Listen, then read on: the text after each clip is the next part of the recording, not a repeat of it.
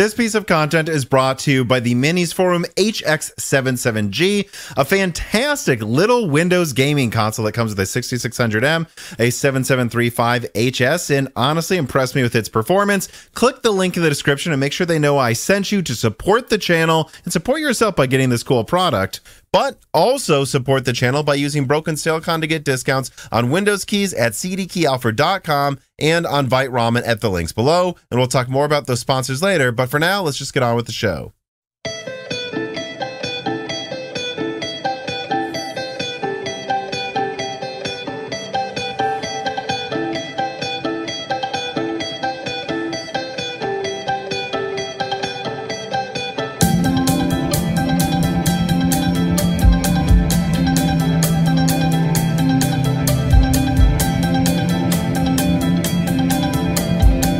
And welcome to Broken Silicon, a gaming hardware podcast. I am your host, Tom, and today I'm having somebody on that actually, I mean, I, am sure I saw you before, but I remember most notably seeing you in a comment section for a Broken Silicon episode with a, dig- a digital audio workstation engineer. Um, so that immediately pegged me, and then I looked at some of your content. I was like, yeah, remember this person here that, who clearly follows a lot of similar stuff we'll have to talk to him eventually and here you are but please introduce yourself tell people who you are what you do and uh, what got you into this line of work the usual questions, the good questions. I'm Leo Waldock. I'm from the UK. I'm a freelancer, but I've been freelancing for Kit Guru for nine, I think, years. So it feels like a job, even though it's technically not. Uh, so that's kitguru.net on the web, kitguru tech on YouTube. I used to have regular jobs, happened to get into reviewing hardware, PC hardware by chance, talked to a person who sent me, I think my first review was a mouse. That was 25 years ago. Uh, talked to somebody else who said, I've just started editing a magazine, I need staff, and so on and so on. Just one step to the next. Uh, started helping out KitGuru with written reviews uh, eight to nine years ago now. They didn't do video at the time, purely web. Um, happened to do a video clip to describe a Bluetooth speaker because talking about audio is a nightmare. And they mm. said, You do video? I said, You've literally got all my videos in the world. And they said, We should do videos. Like, okay. Uh, we got past the thought, which was YouTube was never going to be a thing. Um, and and it's kept on rolling. And the the DAW engineer you were talking to was he a New Zealander or an Australian from memory? Uh, was talking about. Oh yes, he was uh, Australian. Digital digital audio workstation uh, was talking about Sapphire Rapids, and I just reviewed Sapphire Rapids for KitGuru. Now we are PC gaming. Our crossover with Moore's Law is dead, and Gamers Nexus and other channels is significant. Um, for some reason, Intel sent me uh, a review kit for technically it's Sapphire Rapids workstation, so it's build your own system. So it's two processors, a motherboard, a noctua mm-hmm. cooler. Um, and they apparently sent 10 of these kits to Europe. Why they sent one to me is a mystery. I'm not a workstation guy at all. And I watched your uh, podcast with that, or that interview, that guy. And the points he was describing were precisely in line with mine. And I thought, well, as I'm one of a handful of people in Europe to actually work with this stuff, I was responding to some very specific points because generally it feels like I'm uh, raining other people's parades if I start commenting on their work. I wouldn't massively like it if people did it to me unless it's on point. Um, and in this case, the guy was talking specifically about it was four channel, eight channel memory support on Sapphire Rapids, and pe- people are commenting below my, below my video to say, why did you only do four channel? Because the motherboard only did four channel, had eight slots, four channel. And the other motherboard that was doing the rounds, I had an ASRock, was uh, an Asus Sage WS, monumentally expensive. And that had eight memory slots, and it had one of those BIOS notes saying, we will support eight channel DIMMs when we do an update. Mm. Put it another way, it doesn't at the moment. And that's the kind of thing you only even get to hear about when you actually got your hands on the hardware, because what you see in the headline is Asus does eight channel, ASRock does four channel. So, uh, and then the other thing your guy was talking about was power supply shutting down. And I'd had precisely uh, when you had um, the ATX3 uh, overload thing going on transients. And I'd had precisely that on my own PC. uh, happened very recently. I had to do some power supply swapping. Um, uh, so I thought, well, this is my brother from the other side of the world. He mm-hmm. and I, we've suffered together. Plus, he had some really good, deep details, which I hadn't heard on Sapphire Rapids, sadly, after I'd done my review. But happily, it just verified what I found myself. So I thought, I'll comment. And you responded, and one of your readers responded. And that was three months ago, I think. And yeah, that was already. it. And then you reached out quite recently. So there you go. That's a 10 minute answer to a two minute question. Well, so it's interesting too. Um, someone else that I met here where I live in Nashville, he is part of a band, very Nashville, called Vicetone. And, you know, they do a lot of stuff with electronics. And so he does a lot of the mixing and kind of like I know he's in charge of like, or I don't know if he's in charge. He likes doing it too, right? He builds workstations for his band for, mm. and a lot of it's used for audio. And he also, after that episode came out, texted me and said, by the way, I have one of these Sapphire worksta- Sapphire Rapids workstations. It's 36 co- cores. It's really great, but I need like an 1800 watt power supply. Mm. And in fact, I've a custom liquid cooling loop and the most craziest one I've ever built. And we put it in its own room next to the studio with a hole for the wires for the keyboard and monitor to come through because it gets so hot. It was messing with our ability to really even work in the recording studio. He's like, it's really fast though, but you know, and, I, and it's interesting because people I've talked to, you know, you, the DAW engineer, the, the guy from Vicetone, like we have a situation where it go if it was a gradient, it's it goes from the DAW engineer, I would say, who says this thing's unusable. Then there's you in the middle that said there's a lot of issues, but it's fast. And there's oh. this guy who's like, I like it, but man, did I have to try hard to make it work well. It doesn't seem like anyone I've talked to has said this thing has been firing off without a hitch. It seems to be a launch of a product with tons of caveats around it if you want it. And, and a lot of people, well, actually, I'll ask the question now. QH Freddy says very few mainstream reviewers ended up testing Intel Sapphire Rapid Xeon W parts, in part due to nobody sampling them. How did you end up getting it? I guess you answered that. And do you think they were worth covering as a reviewer? And I just want to touch in here. My personal opinion is Intel did not send these out to a lot of people precisely because unless someone was going to tinker a lot, and I guess if I'm being honest, like they were one of the few people they got it, so they're going to try extra hard. I just can't imagine if this went to Hardware Unboxed Gamers Nexus, they were going to say nice things. And that's why Intel didn't send them. So I am now officially, therefore, the nice guy compared to uh, and Tim, and Steve. That, well, well let me give you an example, though. A damning let's indictment. Say, let's say there was an RTX 4095 and it was $5,000 mm. and it was sampled mm. to nobody. And for some reason, it didn't use like 400 watts. It used like a thousand. and mm, then sure. they sent one to me, but they didn't send one to anybody else. Mm. I'm telling you, I'm just being honest with people watching this. I would try extra hard to get it working because I know I'm one of the only people to get it. I'm not saying it's like a, oh, it's cool. not a conflict yeah, yeah, of yeah. interest. It's, oh, well, I'm one of the only people who has this. I can't wait to tinker with it. And I think maybe there's something going on there where they want to only send it to people who are known to tinker a lot and and so that's why they send it to a few people maybe although it does seem random. You didn't expect to get it. No i've I, okay i've got three kind of levels of an answer to that. So the first thing is yes if you know for a fact there's only so many people have got the thing then yes of course you're going to put in the in the in the work to make it work.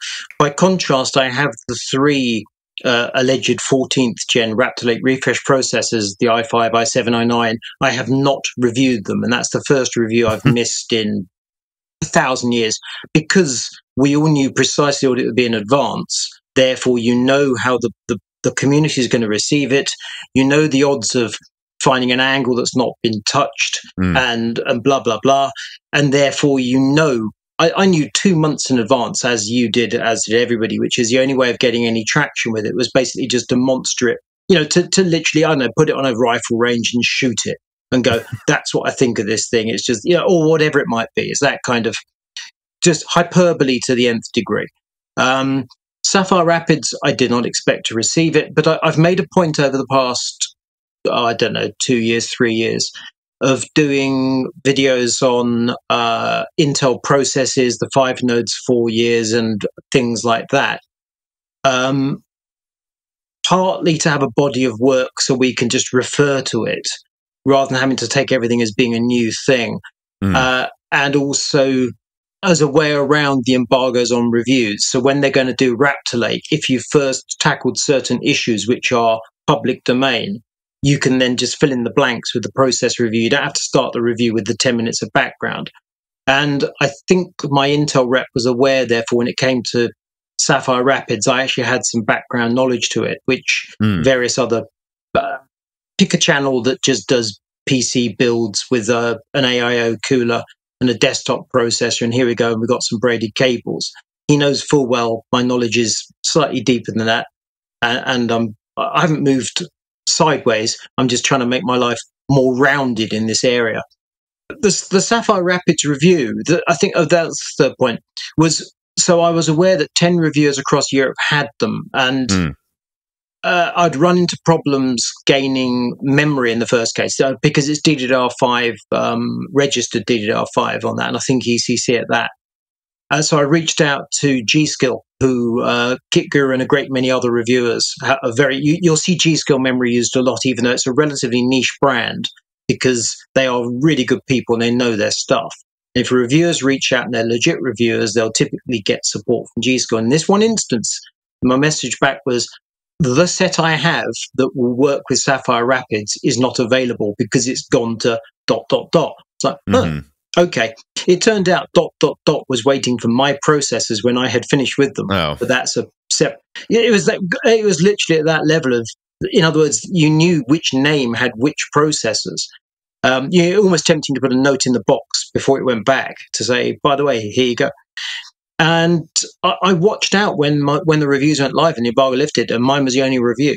No other Mhm. reviews went live, and whether it's because other people had trouble and I, relatively speaking, did not, I don't know. I had to reach out. I said as much in my video to um, Martin, who writes uh, the HWiNFO software, because the software was all over the place with Sapphire Rapids, and he said, "Do me a dump because I can't get my hands on these things." No problem. Here you go. You're a great guy. His software's brilliant. HWiNFO 64 but his data dump came from me so he could make his software function with Sapphire Rapids and tell me what the heck it was doing because it was just lying at first. Mhm. So there, there was a bit of a virtuous circle going on. But still, that review's, do- I, I can't remember what the, it's done 30k or 50k views on YouTube, which is nothing special for a unique product. That is low for a unique product. I've not yet seen another review of it. Oh, DeBauer, of course, Mhm. did his der8auer thing. But uh, yeah, so 10 sets of processors and eight of them, don't know. Yeah, I mean, I have to say too, and I think this came up in that DAW engineer uh, uh, interview. Is if I was one of the only people to get this, and you know, if I'm being honest, it's because you know, at my channel, I have to like.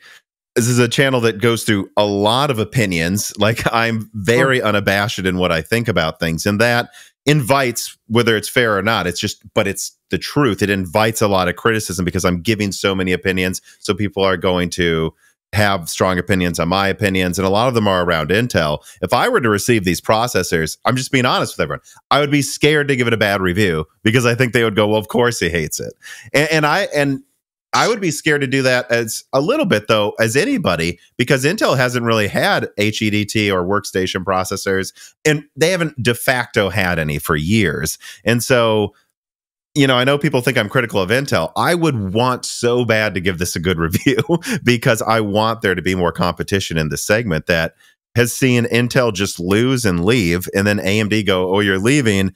Well, then I guess we're leaving too. Who cares? Whatever. Like no one's going to bother. And I mean, I'm wondering how much you went back and forth with it too. Like, is there a chance this is a bad sample, or is you know? it like i guess this is it this is what it is i wonder like how much you thought about that too before Well, posting it The, the thing is, so when I was um, when I when I was not reviewing the i9 14900K, I was I was working on a, a case at the time. It was uh, the weekend before the, and I was getting messages from um, uh, another reviewer who was working on their launch review, and they were saying, "My God, have you seen the power draw of this thing?" I said, "Literally, I've not even put it in a motherboard yet." He goes, "My God, you have you have no time." I said, "I'm not doing it." Um, I'm just, he goes, "In what in what way are you not doing it?" I said, "I'm not doing it. Uh, I'll get to it, but I'm not doing it." He goes, "I've got this power draw and that power draw." I said, "Sure, I believe that." And he goes, Can you verify? I said, I've literally not put the processor in the motherboard. So, no, I can't say.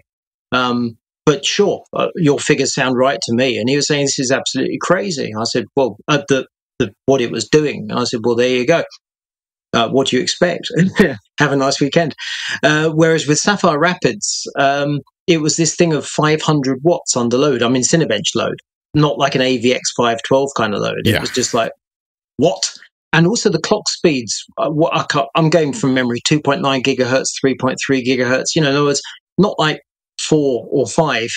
If you Mm. go back to that um, that ringer they pulled on us with the 28 core Xeon alleged Yeah. desktop, Computex four five years ago, it can do five gigahertz, and they got the thousand watt chiller on the go and all that nonsense. This wasn't that. Th- This was the strangest thing because it's running on a desktop power supply. Once I'd figured out what it needed with the memory and blah blah blah, it was all good. But it had a Noctua air cooler on it. And the Hmm. thing it brought home to me was the thing about thermal density, because the processor is enormous. It is the same size as a Threadripper to within nothing. And as you know, a Threadripper is enormous. Most people haven't played with Threadrippers. Mhm. I- I'm holding up my finger. It's about yay size. It's just monumental.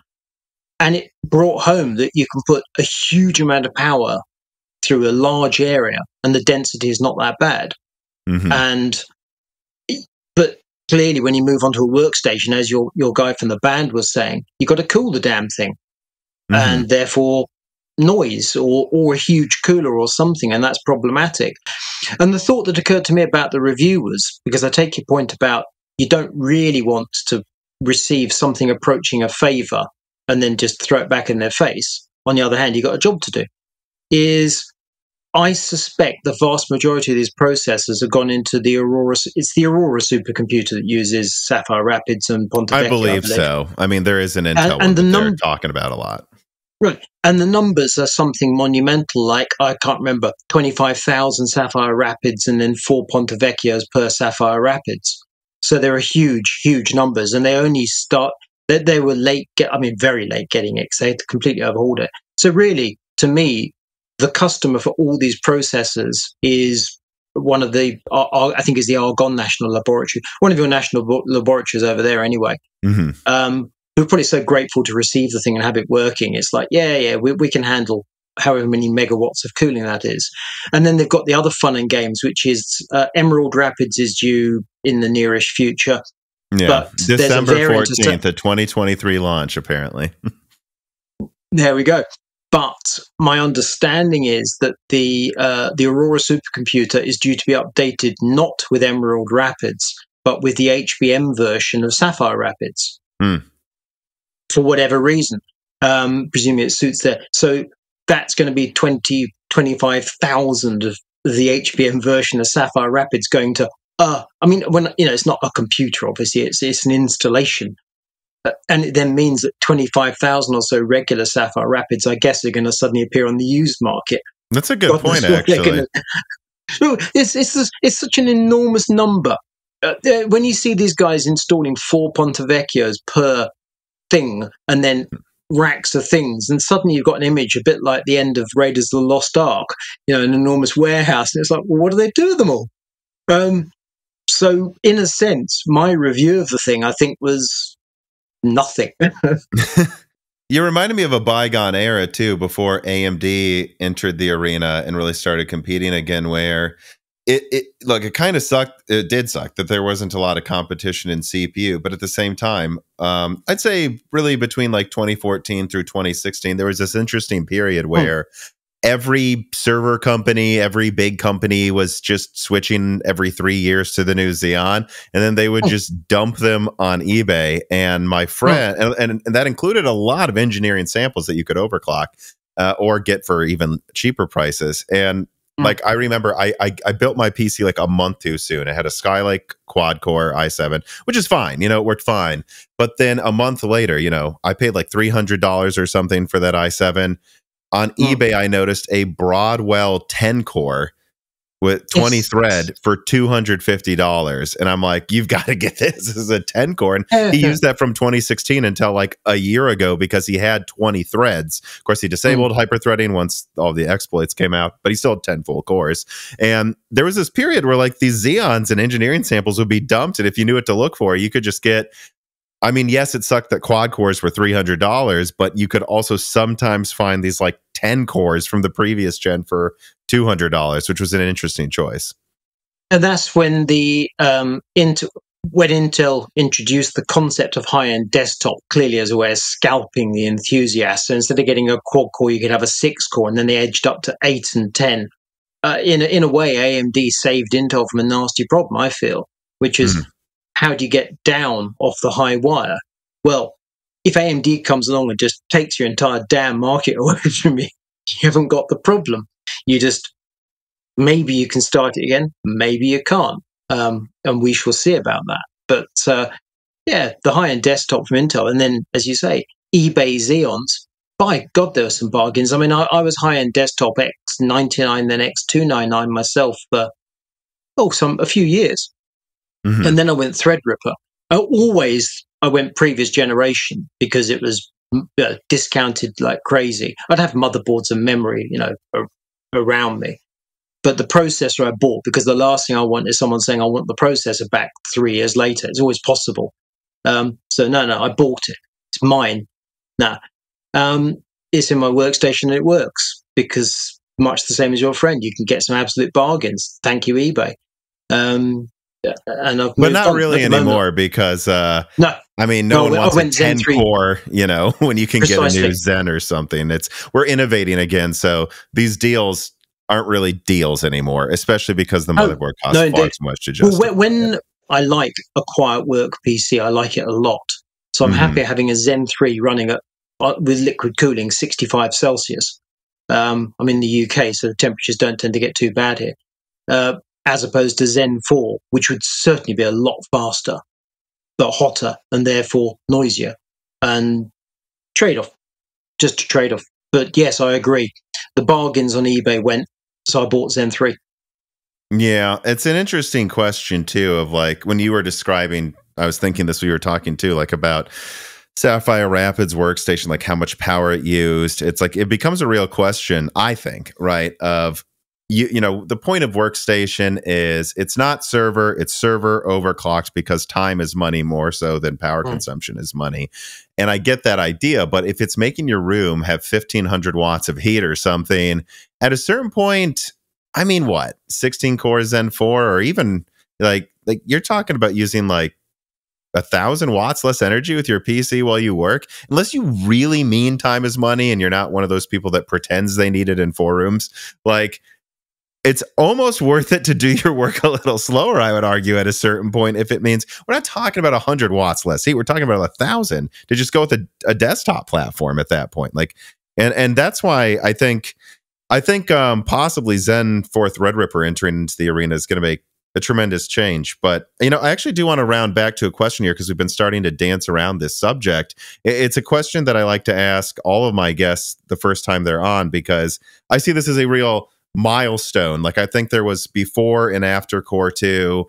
You know, I think there was, you could even argue a milestone was just generally speaking, like the stagnation of the consoles and then stagnation of 28 nanometer GPUs got super cheap. Steam took off. That's like the PC gaming renaissance area.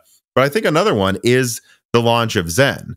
And I'm curious hmm. what you thought about Zen a few years before it came out and then a few months because I think there's a big difference. There's the early rumors where you're like, yeah, whatever, maybe it will be that good, and then there's AMD actually has a PowerPoint. You know, like what were you expecting long before and then right before it came out?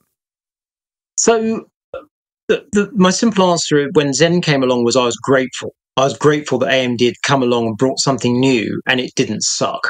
Uh, and it, and it was eight actual cores, and that was revolution. Even though I think with hindsight, when you look back a, a, year or two later, you think, yeah, had Intel been on track, mm. they could have crushed it. They could have snuffed it out because the original Zen wasn't that great. They were um, supposed to have eight cores of Ice Lake yeah. on desktop in 2018. Yeah. Uh, if they had that to compete with Zen Plus, I think AMD would have been okay, yeah. but Intel wouldn't have been threatened. No, no, no, ab- absolutely. Um, and you're in that coulda, shoulda, woulda kind of uh, yes, but they didn't, and therefore. Mm-hmm. and it also helped us that AMD was obviously desperate to make a success of it. On the other hand, when you look at the first go round with Ryzen, uh, you can see that the motherboard manufacturers didn't expect much from it. So all the motherboards were really not that great. Mm-hmm. Um, and memory speeds sucked and so on and so on and so on. And for me, the thing that really got me, because at the time, uh, it was someone else from KitGuru that reviewed AMD. I did Intel. We, we just had separation. It was just so we could keep our data sets going because we, we all work independently. We're not in the same locations, the various faces at KitGuru. And it, when Ryzen came along, I bought one. I bought a motherboard and I bought a processor for my own uh, purposes. And I got into custom loop um, because it, it, was just better for case reviews. I tended to do a lot of case reviews as well, and people would put AIO and it's great. I'll put a, I'll put a custom loop in just because it's a different review. So I liquid cooled my Ryzen, and the, and it was terrible. And the reason it was terrible was because, and you'll correct me, I hope, AMD had offset the temperature reading by something like 10 or 20 Celsius. So you're looking mm, at your process. That sounds familiar. It's a long time ago, but that sounds like something right. I remember people talking about. But, but, the processor was reporting like 95 Celsius, and on custom loop, that should just never happen when you've got an ambient of 20 or 25. That's just not a thing. That means everything's broken and broken badly. It's like, oh, Jesus, shut it down and find the problem.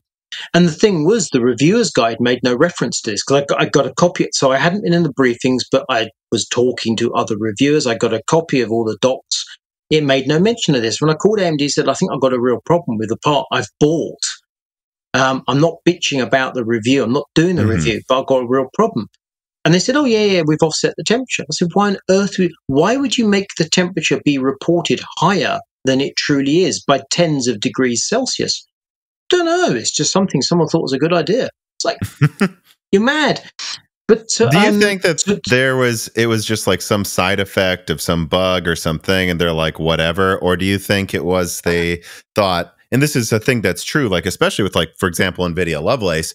The cooler you make it, well, I mean, the less voltage it needs. And I think there's a real mm. balance in how much power consumption your fans are using turning on and how mm. much power consumption the actual silicon itself is consuming. Because some people will mm. crank up their fans and say, look how low my temperature is. And it's like, well, yeah, but now your fans are using 30 more watts. Do you think maybe they thought Zen was just extra efficient if it was kept below a certain temperature and they wanted the fans to try harder? Any explanation I've ever been given by any manufacturer has never been true of almost anything. Okay. Broad, I mean, broadly, just just you can come up with a point and and you'll get some response. And very often, the res- the reason you're getting a response like um, that's just inaccurate or or misle- misleading, but in the nicest possible sense, is because the guy you're talking to very often doesn't know himself. Oh yeah, they've got a message and it's been passed down. What they know is they have a message to deliver. This is the message to deliver. RTX 4060 is brilliant. Yeah, but it's not, is it? No, it's brilliant. Oh, it's the and, best and eight of, gigabyte gaming card for the mainstream. Right, it's got right, effective right. bandwidth accelerated by L2 cache. Come on. That is what they would say. so the, the thing is that if someone sold a processor and that processor is running at, let's say, for argument's sake, under load 75 Celsius with decent cooling, pick a number out of the air, and you report it as running at 55, then you're going to run into litigation issues from somebody. You're bound to. There's no downside legally to reporting that this 75 degrees Celsius process is actually running at 90 degrees. That's not mm-hmm. going to cause them any problems. It just drives guys like me wild because why would you do such a stupid thing? Um, so whether they've done it to tweak some sort of offset in a BIOS, because I mean, at that time, I didn't even know that um, the AGESA BIOS code was a thing. I don't think we'd heard the term at that point. Mm-hmm. AMD rolls out a later version of AGESA, and then that goes into the. I'm probably mispronouncing that and then that gets uh, put into the into the base of the BIOS code. So Gigabyte, MSI, Asus, ASRock just base their BIOS on that.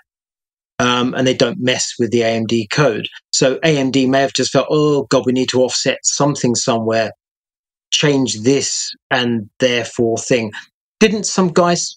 I think it's a conversation you had with one of your people, maybe someone else, some Intel engineer who was saying, oh no, he's talking to Gamers Nexus. Um, we can put the uh, the temperature sensors anywhere we like in the processor. We can make Mm. it say whatever we want. And of course, he's correct. Whether it's measuring the hottest point Mhm. or some point just somewhere under the heat spreader, it's just a number. They know what it means. We don't know what it means. And, Mhm. and that's just the thing. So, but I, I would say that, uh, the, so that's my, my view of the original Zen. Um, however, if you go back to AMD's processor called, I think, FX51 from memory, the first true two core processor. That was the oh god moment. I've had two oh god moments with, uh, or three. One was when AMD brought out a proper dual core processor. The other was my first experience with an SSD, which would have been some Intel SSD, Mhm. which would have been 80 gigabytes and probably cost a fortune. Maybe I think they first did a 40 gigabyte. It was like, huh, this is different. And then first time putting a custom block, liquid block on uh, a graphics card, Mhm. and suddenly you you lose all that huge cooler, and the power is just dissipated, and it's it is just like, huh, don't bother liquid cooling your processor, liquid cool your graphics card, except do you want to tear the cooler off a thousand pound graphics card. But um, the FX51 was the AMD rev- revelation for me so Mhm. when Ryzen came along, it was it was relief. It was thank you AMD for doing something, and AM, Intel has to respond to this in time. Um, they have no choice. And and their response four years Well, of Skylake. Coffee Lake, yeah. Coffee Lake. Um, but but but we had interesting times because my interest at the time in uh, process technology was little. Mhm. So we'd hear about Intel 10 nanometer, and it's like whatever. Um, so the fact they haven't made a thing, they can't make a thing work. Okay, because we now know if we plug back in current knowledge back into what we knew then, uh, plus a lot of stuff we still don't know. Had they done their disaggregated design and all the rest of it, such that design was separate from process, Mhm. okay, we can't make it on the process we want because of something that doesn't function. There are all sorts of rumors about why 10 nanometer never worked. Ice Lake was clearly a catastrophe. Um, so we'll put the design in a different process, or we'll ask TSMC to make it. Now, or we'll actually fund me, our foundries enough. It's the people I talk to at Intel, you know, like if you go back 10 years, the people at Intel publicly are like, well, you know, it's really hard to get to the latest nodes, and we suspect TSMC will have trouble too. But if I talk to people, which I do all the time, right? Of course, for my channel behind the scenes at Intel, they'll say, it just costs more. We needed more people and more money. And then they Mm, bought the that- that's for seven billions, and they were wasting it. And then the second they started funding them, boom, ten nanometer worked. It was just like they just needed to spend that, more money. give, give the money to engineers rather than rather than letting accountants run the show. It's, it's miraculous how it can change things. But had you said to me back when 10 nanometer didn't work that in the future Intel will be getting their um, well, call them CPUs, but as we now know, they're parts of CPUs from TSMC. We're like, Mhm. No sense at all. And yet here we are.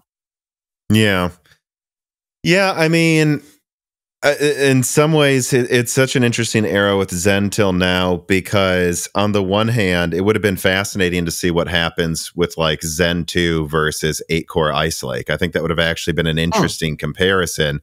On the other hand, I think in some ways it's allowed AMD to become enough of a competitor where we don't have to worry that much about competition, at least in CPU, for the next five years. There will be competition. Maybe Ooh. one of them will win or the other one will win, but they're going to be competing with each other because they were had enough time to build up to become a real competitor.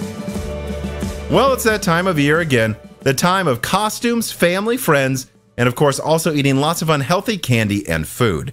It's also simultaneously usually when most people are crunching to finish up the work they need to for the year before the holidays. And while you're crunching, that usually means you're also likely to eat other unhealthy foods in between those bouts of eating unhealthy food with family and friends.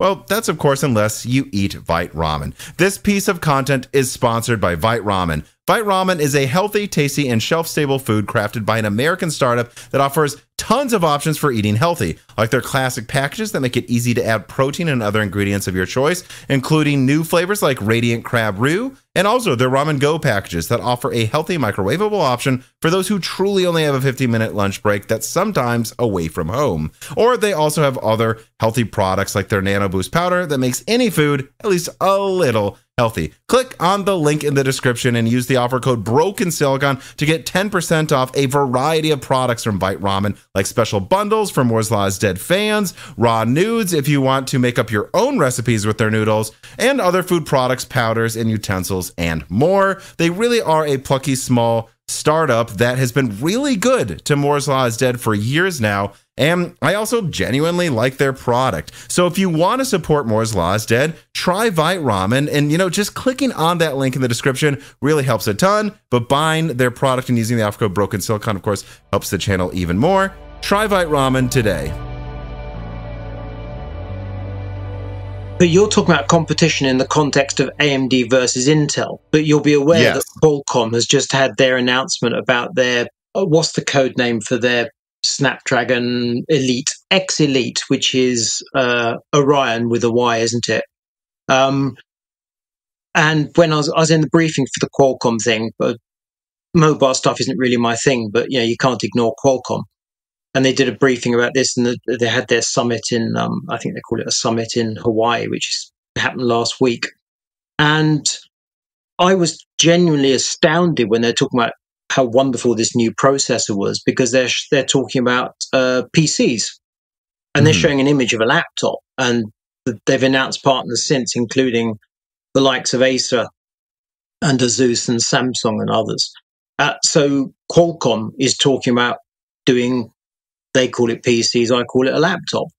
And if what they're saying is true, they are truly, they claim competitive against um, Apple. We know new Apple is coming imminently, but current Apple, if Qualcomm can suddenly pull a rabbit out of the hat and produce, you know, a, a processor that is better performance and more efficient than current AMD and current Intel, well, that changes. When does things. it come out? The Qualcomm ah, thing. So they said uh, they said mid 2024, and I've been told that is June 2024. Mm-hmm. Um, which is slightly curious. Apart, I mean, if it takes that long, it takes that long. But Qualcomm, as far as I'm aware, has no part at Computex. Mm. Um, so it, oh. I, I, guess it's right. So to to the best of my knowledge, June 2024 is nothing significant. So that just implies it takes them that long to make it and for their partners to make it. But we're talking here uh, a, a RISC-V processor that runs Windows. Mm-hmm. So you'd think that means that the various laptop manufacturers are obviously familiar with Windows, um, have at least got a bit of a jump on how to do it because it sounds as though Qualcomm is taking a bit of a leaf out of um, NVIDIA's book, which is not just here's a chip, get on with it, boys. It's here's a package of parts you have to have. So the um, voltage regulation hardware, for example, around the processor, I understand is part of the package. I guess memory will be as well because Qualcomm don't mess around. Uh, so it sounds as though, uh, had you asked me this a month ago, two months ago about laptops next year, it's well, it's Intel and AMD, isn't it? And or Apple this is this is just come out of nowhere as far as I'm concerned. Even though I've heard the name, I had no idea they're going to do Windows laptops. So here is my only concern though. And actually i'll i'll throw in a question here from travis gooding because this leads right into this. Says hey guys i'm always happy to tune in to these types of discussions. How far off are we from seeing a high-end arm console? Not a switch 2 but a truly next generation leap in RISC processing.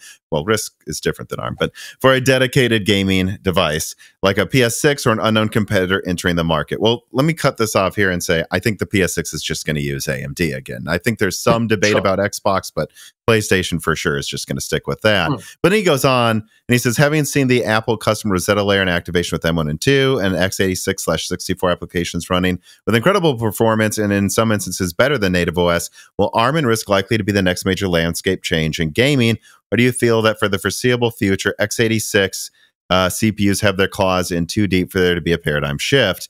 And I brought this in because I prepared an answer to this ahead of time. My answer is show me the money. You know, don't show me a PowerPoint. Show me the money. Show me beat AMD. Then do it. Don't tell Yeah, me you're yeah, going to yeah, do it. Don't tell me you're going to do it in two years. And I mean, we've seen Apple come in, and I, hey, I'm one of the. I don't. I haven't had a Mac for a very long time. I used to have a MacBook Air a while ago, but the original M1s. You know, I think it's so easy for, or I don't know if it's easy, they but they do it. A lot of gaming channels just make fun of Apple, but I remember when M1 came out, I was like, hey, this is impressive. Now, granted, it's like a bazillion transistors. I understand why it's impressive. Hmm. It's expensive, but this is impressive that they seem to be getting like dedicated graphics performance in something that can game on battery for three hours. This is actually pretty Hmm. incredible technology I'm seeing here. But Apple's stagnated recently, and I can't help but think that a lot of what happened there, or for sure this is what happened, I think, is Intel stagnated, AMD was using inferior nodes, App- Apple wasn't using inferior nodes like AMD, and so they just spent their way to making a good version of ARM and had a huge die size. And we've now seen their recent release not that good, you know. And I think this will change with their truly next gen offering they have coming. Mm. But I, I can't help but say it like, look, they were beating everybody because Intel was AFK. And when I, I just looked up this Qualcomm chip, it says that it is going to offer double the CPU performance versus Intel. Right. Which Intel? I looked it up. An i7 1360p. I believe this is a rebranded Alder Lake chip with four big cores and eight little cores. So if this launches in mid 2024, this isn't going to be competing with a mid tier Alder Lake. This will be competing with Zen 5 Strix. And I don't think it matters what it uses. I don't think it matters if it's ARM, RISC 5. It just matters if it's good. The instruction set, I don't actually think is that important. It depends, to my mind, which sector, which segment of the market you're competing with. Um, so the the can they do and what does it compete with? It depends. Now, if they're saying we're going to go head to head with the um, the, the well, the, as you say, the next gen of AMD, for example, Or Intel. Meteor against- Lake's not even out yet, Oh, you know. yeah. No, no, absolutely. And with Meteor Lake, of course, we've had plenty of information, um, but we haven't had, you know, as you say, show me the money. Um, we haven't had the uh, core configurations, and we're fairly confident it's two big plus little and uh, eight big plus little. Uh, but as to clock speeds and which SKUs and so on and so forth, obviously now there are he- heaps of rumors out there. But as to how it actually functions in the real world, not so sure. Um, will they once again have to rely on NVIDIA for adding graphics? Not Hmm. so sure. Um, uh, y- possibly. Yeah, it, uh, in fact, probably. But we don't know. Um, it could be that Qualcomm's going to rock along and just take away a whole slab of the market, potentially. Um, and that in turn, even if they don't tackle the high end, high performance gaming and other laptops, workstation laptops, it could be enough to change the dynamics of the market. You Mhm. take away a chunk of the market and you leave them with, oh, hang on a minute, what do we do now? We can keep on making the laptops we've got, but we have to jack up the price to, you know. If you think, um, what was the Asus ROG Zephyrus, their first AMD laptop in, Mhm. uh, I don't know how long. what that been, a four, four years or something First like that. proper one. I think they had little cheap ones, but you know those don't Sure. really count. And, and, I- and I took to Computex some years ago, going back to uh, Tim from Hub's uh, comment about gaming laptops. I took a, a an Asus ROG 17 inch laptop with a desktop Ryzen 8 core processor in it. Damn thing weighed a ton, and you know you couldn't leave a main socket. It was terrible.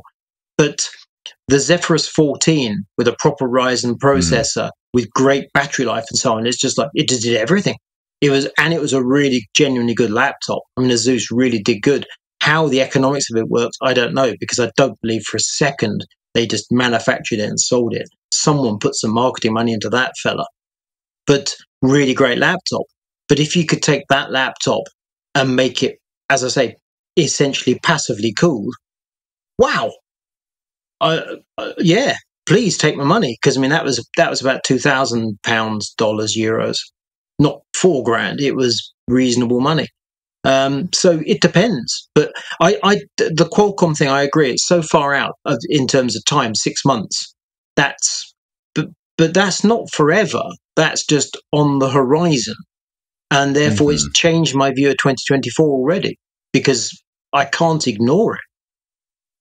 Yeah, I think there's no way around it. 2024 is going to be a huge laptop showdown between not Ooh. just Intel and AMD, uh, but also, you know, there will finally be properly, hopefully, a new generation of Apple chips. And then, of course, it seems, I suppose, here that Qualcomm's coming in pretty hard as well. But, you know, when I look at, because I'm looking at Qualcomm's Apple format little grid of squares of all of the things in mm. this APU. It's funny to see that Apple did that and now everyone seems to do that as their summary slide. Um, like I have to say that I suspect what this would oh here we go perfect best in class performance versus x86 two times faster GPU. So I don't see the teraflops rating here. And if I say something stupid, I really apologize. I don't know if you remember if they announced a teraflops thing, but it seems like they're basically saying they have like a 10 teraflops GPU. Again, please don't quote me in the comments. I'm just looking at without being able to read their fine print. They're like twice as fast as a 4.6 teraflops competitor. Um, like you know, Phoenix is at nine teraflops now, and I think Strix, I don't remember exactly what it's going to be at, but it's going from 12 to 16 compute units. So one could deduce that it will at least probably be 12 teraflops. Um, like, I think where Qualcomm's likely to eat the most lunch is in, as you're probably saying, low end laptop.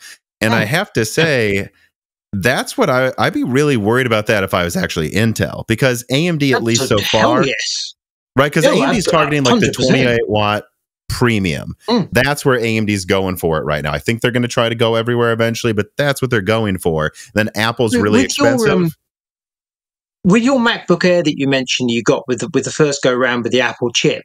So that it didn't have the, an Apple chip though. That was a long time ago. Okay. Oh, I see. Okay. Well, well the first go round when when Apple changed from Intel to um uh, to their own silicon, and we'd had the situation, hadn't we, when they've been waiting for Intel to finally give them the damn silicon they've been promising for ages, such that the the Intel powered old silicon they didn't want had the cooler mm. howling away, and nobody could understand why the cooler was in the wrong place. Essentially, in the corner of the laptop, shifting air in the general vicinity of the inside of the chassis. And the answer was because that wasn't the processor that was meant to be in that laptop. It was meant to be a much uh, less power hungry, much cooler processor. Uh, but as Ice Lake and all the rest, it was a complete, you know, disaster. Um, and when Apple switched to their own silicon, and suddenly we saw a laptop that did indeed only need a waft of air to keep everything happy. And that was the difference. Essentially, it was the same laptop, even though they'd gone from Intel to Apple silicon. However, because it now worked correctly, far less power, as a mm-hmm. consequence, mm-hmm. the cooling worked so the thing didn't require a fan constantly howling away with the processor sitting at 100 Celsius. So if Qualcomm can change just that one little thing from the current laptops, because um, I, I, noticed in, in some of the emails you sent me, you, you referenced I recently reviewed a PC specialist laptop, uh, 14 inches, some Hong Kong chassis, and the processor was a relatively low power Intel one. So it was in the 28 watts or 35 watts or 45 watts if you pushed it. And it makes all the difference in the world to performance and to cooling. You see, you don't want to go at 28 watts because that sucks. Uh, mm-hmm. Uh, but if you go to 35, it's okay. You push to 45, you get almost no gain. And now suddenly it's noisy. Well, we've seen laptops that do 90 watts, and that's terrible. So if you can have the performance of that mid tier laptop, but with really low power draw, really good battery life. Really, if you ask the average person what they want from a laptop, what they want is good battery life. Mm-hmm. Everything else is secondary to that. Everything else is secondary. Um, That's why I wish they would have things. compared it to Phoenix, though, right? Because if you compare it to recent comparisons between Raptor Lake and, uh, well, Phoenix or actually Dragon Range, which is really just, mm. you know, laptop version of Desktop Zen 4. Sure. Um, yeah. I think what was it? I think Intel's i9 beats AMD's 16 core in laptop if they're using 140 watts or something. like and there's been recent comparisons too on desktop where if you have both chips at 200 watts intel wins by a hair if you have both chips at 150 watts amd wins if you have both chips at Hmm. 100 watts amd wins by like 20% if you have both chips at like 35 watts amd wins by like 50% and again so that's my red flag they say double the or 68% better power efficiency versus Intel at what power consumption? Because AMD already does that now, like right now. However, How, however, uh, there's two points to power things. So when I reviewed, I think Alder Lake, possibly Raptor Lake, but certainly Alder Lake, I ran the i9 at, oh, I can't remember what the thing would be, 190 watts. Uh, and I think you wanted to go to 224 or some such. Raptor Lake went more. And then th- th- they had this thing about efficiency. So if you throttle the power or cap the power more accurately, to I'm going to pick a number 125 watts, and then there's some much lower setting like 65 watts. It's really good. And they were quite correct. It absolutely was. But it begs the question who in their right mind buys a desktop i9 and then runs the thing? At, you know, it's like, okay, Yeah. and your and your point. Um, so yes, that's true, but kind of so what? But the other thing about the efficiency, if you run a Zen 3 or Zen 4 uh, Ryzen 9 16 core, that's obviously two 8 core chiplets. Mhm. They are almost certainly going to be good quality silicon because the 8 core parts seem to be. Now, the, the best 8 cores clearly go into some particular EPYCs because that's where the real money is. Uh, and I'm sure that will continue from here to eternity. But in the desktop, you get a 16 core, you get a good one. If you get a 12 core part, that's two six cores, and that tends to be two bits of sucky silicon. Um, Mhm. You can have a 12 core that's obviously not got, it's got approximately three quarters the performance of the 16 core, but the power draw would typically, in my experience, be significantly higher than 16 core, significantly higher. And that can only, in my book, come down to quality of silicon. It's not down to clock speed. It's running same speed or slightly slower than the 16 core, but taking a lot more power to do it. So that, therefore, this Zen 3 or Zen 4 or pick a, pick a family of processors compares to this family, which member of the family you're talking about. And in, you've actually, uh, you said something very interesting the other day, uh, if I heard you correctly, which is that with uh, Meteor Lake and then with Arrow Lake, Intel wasn't expecting to be making the processors themselves. They're going to use the, the sorry the compute tiles. I apologize because Yeah. it's now not a processor. The With compute Arrow Lake they're use- specifically, yeah, they they didn't Right. think they'd have their node ready. Right. And so, which way round is uh, TSMC and um, Intel? Which silicon is Intel making? Which part of the product stack is Intel making the silicon for the mega high clock speed, high performance tiles? No, it's making the Hmm. mega efficient tiles. And again, what's going on there? Because uh, again, if you just to say to me in the past, um, Intel's going to make uh, what what I would have once called chips, processors, but now it's parts of processors, and they're going to make th- they'll use their silicon in some part of the product stack, and they'll use TSMC and some other part of the product stack. I would have assumed, based on no information, well, Intel's obviously going to have the high end, even if it takes a bunch of juice. TSMC will get the bread and butter, and it's the exact reverse. yeah, Intel's and, going for the I don't remember tiles. off the top of my head which leak it was, but it was like I don't know half a year ago where I really asked a bunch. Uh, I think I think a lot of people skipped or don't remember this part of it. Like a major part of it was I tried to outline what parts of Arrow Lake will go to TSMC, what parts will Hmm. go to Hmm. Intel. And it became clear that pretty much TSMC for the CPU tiles is going to be used for the top half of the stack, including mobile. And then 20A is going to be used for i5 and lower.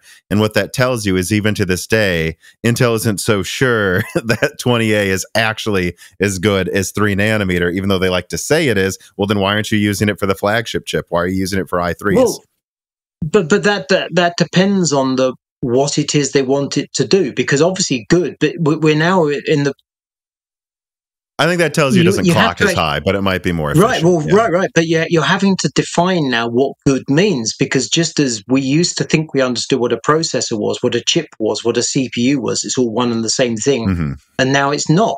The Meteor Lake, which is clearly the way Intel's going in the future, um, is a base tile and four uh, tiles. And so you've got the EMIB uh, underneath, and you've got the four tiles. You've got uh, graphics, t- compute, I/O, and display. And my That's right. understanding is Arrow Lake will look basically the same like it. If, if we were to draw an analogy, Meteor Lake is Zen 2, Arrow Lake is Zen 3. Like the platform, the organization looks the same. This is their base design, and then But- they're iterating. But when when you're saying um, Intel isn't good enough, therefore they'll have to use TSMC, as you say, because and our brains fill in the thing which is Well, that's what they the thought a few years ago. grunt. We won't Sure. know until it comes out.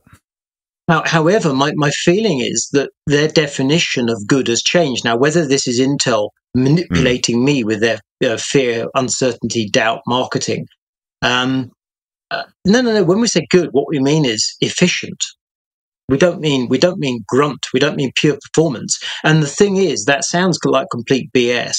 But uh, if God help us, the AI part of all these SOCs is going to start having more of function, then it doesn't necessarily mean they require a grunty processor to do the processing. It, because after all, we, we have a user experience. You know, if they could do um, if they can do work locally rather than having to pop off to the cloud and back again and such like, that'll speed up latency hugely and therefore your experience will be zipping along on no power whatsoever. So either their their stuff sucks and therefore they have to use TSMC, which on on past history could completely be true, or they're moving. I I mean, here, here's a uh, a question. So just recently, Intel had an event in Ireland at their fab um, to announce that they are now producing Meteor Lake EUV, uh, using EUV, and it's the first commercial production or some such wording of EUV. Um, they had very few journos there because it was essentially a business thing. They had some Irish politics. I, I did a video on KitGuru about it because I was just interested. Was, and it's the way of I think I watched that, yeah. nailed. Oh uh, well, I hope it wasn't terrible, but but as you know, it's essentially at this moment this is the state of play, and even if it's not true, is what I believe. And then next week or next month or whatever, when stuff comes out, we're like, okay, things have changed. How have they changed? Was I wrong, or has the ground shifted?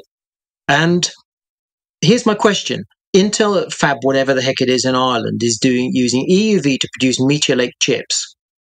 What are they producing in Ireland? What exactly are they producing in Ireland? They're not Didn't they announce Meteor they're going to make Intel 3? Didn't they say Intel 3 is going to be there? they're, though? they're starting on four, they're moving to three there, and then and then after that, 20A and 18A go to Ireland. My point is, you're correct about the process. It's four going to three, and it's EUV. Mm-hmm. But what they're producing in Ireland, by definition, can only be the compute tiles of Meteor Lake, because Mhm. everything else is TSMC. Or maybe the EMIB is coming out of Ireland. I don't know. That could be coming out of well, Israel, possibly. Who knows? Um, but another Intel fab. But the it's the compute tile that's coming out. But we also know TSMC has their hand in that. So uh, when they've made this grand announcement, and, and it is also a bid for money from the EU for the German fab in Magdeburg, which they obviously want money to help build. Um, actually, our understanding in the past was Intel is making chips in Ireland and they're chips. End of story. And they'll go in your laptop. When you look at your laptop, it's got Meteor Lake. Now it's part of Meteor Lake Mhm. might be coming out of Ireland. Other parts are definitely coming out of TSMC, which at the minute means Taiwan, because you know the American fabs aren't up and running. And as I understand it, some of the compute tiles are also TSMC. So it's a bit of some Meteor Lakes is coming out of Ireland. And I, I, I have to tell myself that because that is totally different to anything we've ever heard before with Intel. Totally different. Well, it's different in terms of tiles, and then of course Intel 3 will make Granite Rapids there. Um, Hmm. But I remember there were Ivy Bridge chips that could have a stamp I remember because I don't remember if mine was the Costa Rica one or not, but some of them came out of Costa Rica and some of them came out of other areas. So, I mean, they've dual produced things from multiple fabs before. I, I distinctly remember Ivy but, Bridge but, was one. Right, but in this case, the the best, uh, obviously, Intel would say the whole the whole thing is ours. Therefore, what the heck if we have to source stuff from wherever the heck? I mean, nobody thought less. Nobody thinks less of AMD because they use GlobalFoundries for one uh, you know, when when they use them for the I/O die, and then they use TSMC for chiplets, and then they switch to T. You know, it's they're fabless. It's not a thing. In Intel's case, they've also got Intel Foundry services. They are selling themselves as a foundry to other people whilst getting all their stuff made oh, by TSMC. I see. So what you're getting at is, can they really claim they have their own foundries if all of their chips require them I, to work anyways? I, I, am genuinely. It's a good question. I, am going around the spiral on this thing. It's the strangest thing because it, it it's my my feeling is when you think life makes sense, it means you don't understand what's going on. And once mm-hmm. you start to understand more about it and you start to dig into it, and you go, "Huh, okay." It turns out I know nothing. And then you start asking some questions, and then you, you come back with, okay, I've asked I've asked the wrong guy because he's in the wrong department. He knows a bit of it. He knows his bit of the world. He doesn't know the whole thing because who does know the whole world? And and in this case, the meet the the, the Irish thing, because you know all the business journos, uh, mm-hmm. the Irish thing, were reporting it's great. Ireland leads the world. Ireland's beating Taiwan. no, but they're still using well, it. Yeah, right, right, and and in, and you know perfectly well in Taiwan that they're busy saying we lead the world. The world needs us. Um, it, it is it's two completely different stories going on in parallel um, it, it well so i actually i like the point you're bringing up though because i think number one it is totally fair to point out that intel's claims that they have their own foundries is not really true in the next two years because everything they have if they ever launch Battlemage that's coming out of tsmc as well. Like all of these right. things are coming from other people. They can't really claim they're their own foundry anymore. Now having said that, my understanding is, and I just put out a leak about Arrow Lake refresh and stuff, that mm. this is a byproduct of them not being sure what their future was a couple years ago. Like, I hmm. think Meteor yeah. Lake. God, I leaked the code name Redwood Cove in like 2020. So Meteor Lake was planned a very long time ago. Mm. My guess is that was always going to use Intel 3 for the main node. And they started, or Intel 4, I mean, and they started sourcing to everyone else for the other tiles in case it sucked. And then T- mm. and then Arrow Lake and Arrow Lake Refresh will use TSMC predominantly, and that is because they really didn't believe in themselves when Arrow Lake was in the planning state. You have to buy this capacity years ahead of time. And mm. I was actually told recently that the 20A version of Arrow Lake, they came up with that, I think, like a year ago. Like this wasn't something they were always planning to do, but now their foundries are performing better. So they're going to do that. And I think Panther Lake supposed to be all Intel, with Intel 18A being the lead, and certainly. I guess I still have notes here that I'm looking on something on the side that Nova Lake still is supposed to use TSMC 2 nanometer. But if they can, they'll move to Intel 14A or something. So, what I would say, I said, I think you can have the criticism of Intel, which is very fair. Um, my devil's advocate argument would be a lot of this is a byproduct of a chaotic period. And I'm mm. guessing they're going to try to be all Intel by 2027, if not 2026. So this is going to be a weird okay. time where we have all this stuff going on because they don't know if they can do it. But if they get to a place where they feel comfortable, they want to bring as much capacity back to their own fabs as they can. Having said that, I think they also realize that TSMC is really good at helping you with hard designs, diversifying your capacity. My guess would be they'll still use TSMC for graphics tiles and here and there other tiles for a very long time. It's just eventually, you know, they can, you know, hopefully move everything back. And I suppose they would also argue if Pat Gelsinger was in this conversation, he would go, well, look, if a war in Taiwan happened, we can move it to our node. They can't. And, and that's the argument he would make. But they're not now you've touched on a point I was going to make there. So I take it the reason you're saying Intel wants to move from TSMC to Intel, apart from because it's Intel, you know, we, we make our own stuff. Uh, real men have fabs, as um, Jerry Sanders said many years ago. Um, but the thing is, I, I would say that the more immediate priority for Intel is to manufacture not in Taiwan. Mm that that would strike me as the bigger deal. Um, Intel made in the in the quarter they just did a billion dollars net, I believe. I think AMD's making about a billion dollars net in a quarter at the moment. Nvidia's making ten or yeah. something. Um, which, apart from showing the, the relative weight of those three companies, which are so important in our world, but in the event there's a problem with Taiwan, uh, that's going to give both AMD and NVIDIA monumental problems. If Intel can shift production to America in their own fabs, and and after Ireland, so for 20A then 18A, those are due to be Oregon, I believe. Um, or is it Ohio? One of the uh, America anyway. Ohio. Then, then not only do they have uh, they're on track, and they've got um, security of supply, they've also got the American Chips Act money. Mm-hmm. Uh, they're in a position so where TSMC. they can say, right now, I think Intel will be far less uh, concerned about manufacturing at TSMC in the states. I think that I think I think they will treat the Meteor Lake uses six nanometer as well, which is I think coming online with TSMC as well. So right. I think maybe so, there's some planning there too. So right, so uh, we know that T- we know that TSMC is slow rolling the fabs in America. Partly at the minute, apparently they've got labor problems with you chaps, but um, they want the American fabs to be a node or two behind, or however many it is behind Taiwan, because that's their protection. We we mm-hmm. know this. Um, but when Intel has the option of producing in America, whether it's Intel or TSMC, then I think they'll jump at it. And I think probably strategically. I have no idea what uh, wafer throughput t- uh, TSMC will be able to do in America once they start rolling. But if Intel can grab up as much of that as they can, and therefore prevent their competition from grabbing it up, I think that'll suit them on a number of different levels if they can do it. And they've been they've been a customer of TSMC after all for a very long while. Whereas Team Green, as we know, mm. uh, are should, should, we say they are um, fab agnostic? They're not loyal people, are they? Mm. Um, you know, they jump and they jump and they jump, and then they say, "No, no, we're not. We want a discount." And when they're told no, they get quite shocked and go off to Samsung.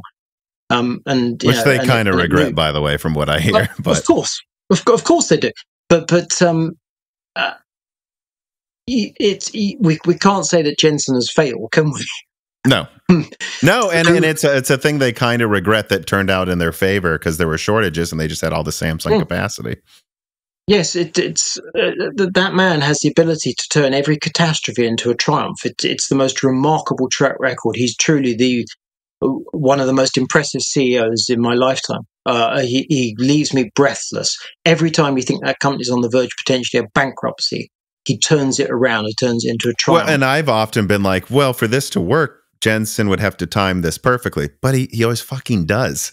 he always does. So I can't, I have is, to be so careful, like questioning him because yeah, at least so far, it's maybe it's just he flipped a coin and got heads five times in a row.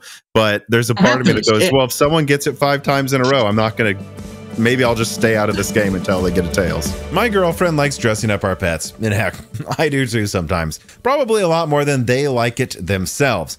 But you know what's scarier than being dressed up by a giant human like a strawberry or a tomato? Well, that's overpaying for Microsoft software. And that is why you should go to cdkeyoffer.com during their Halloween sales event. Whether it's Microsoft operating systems, Office products, or many of the latest games, CDKeyOffer.com provides PC gamers with a product that I honestly think this community needs, and that's just avoiding monopolistic prices on software, especially Windows and Office products. And you know, the Moore's Law Dead team has been working with this company for a very long time and still does for a reason. They've been good to us, they've been good to the community. Heck, recently I got my girlfriend a new compact gaming PC as an early Christmas present, and when it came time to set up the Office software, I realized she was paying a lot of money per year for Microsoft 365. And she was blown away to realize that that was a predatory service and you can get Microsoft Professional 2021 Office for like $50 and then you're done.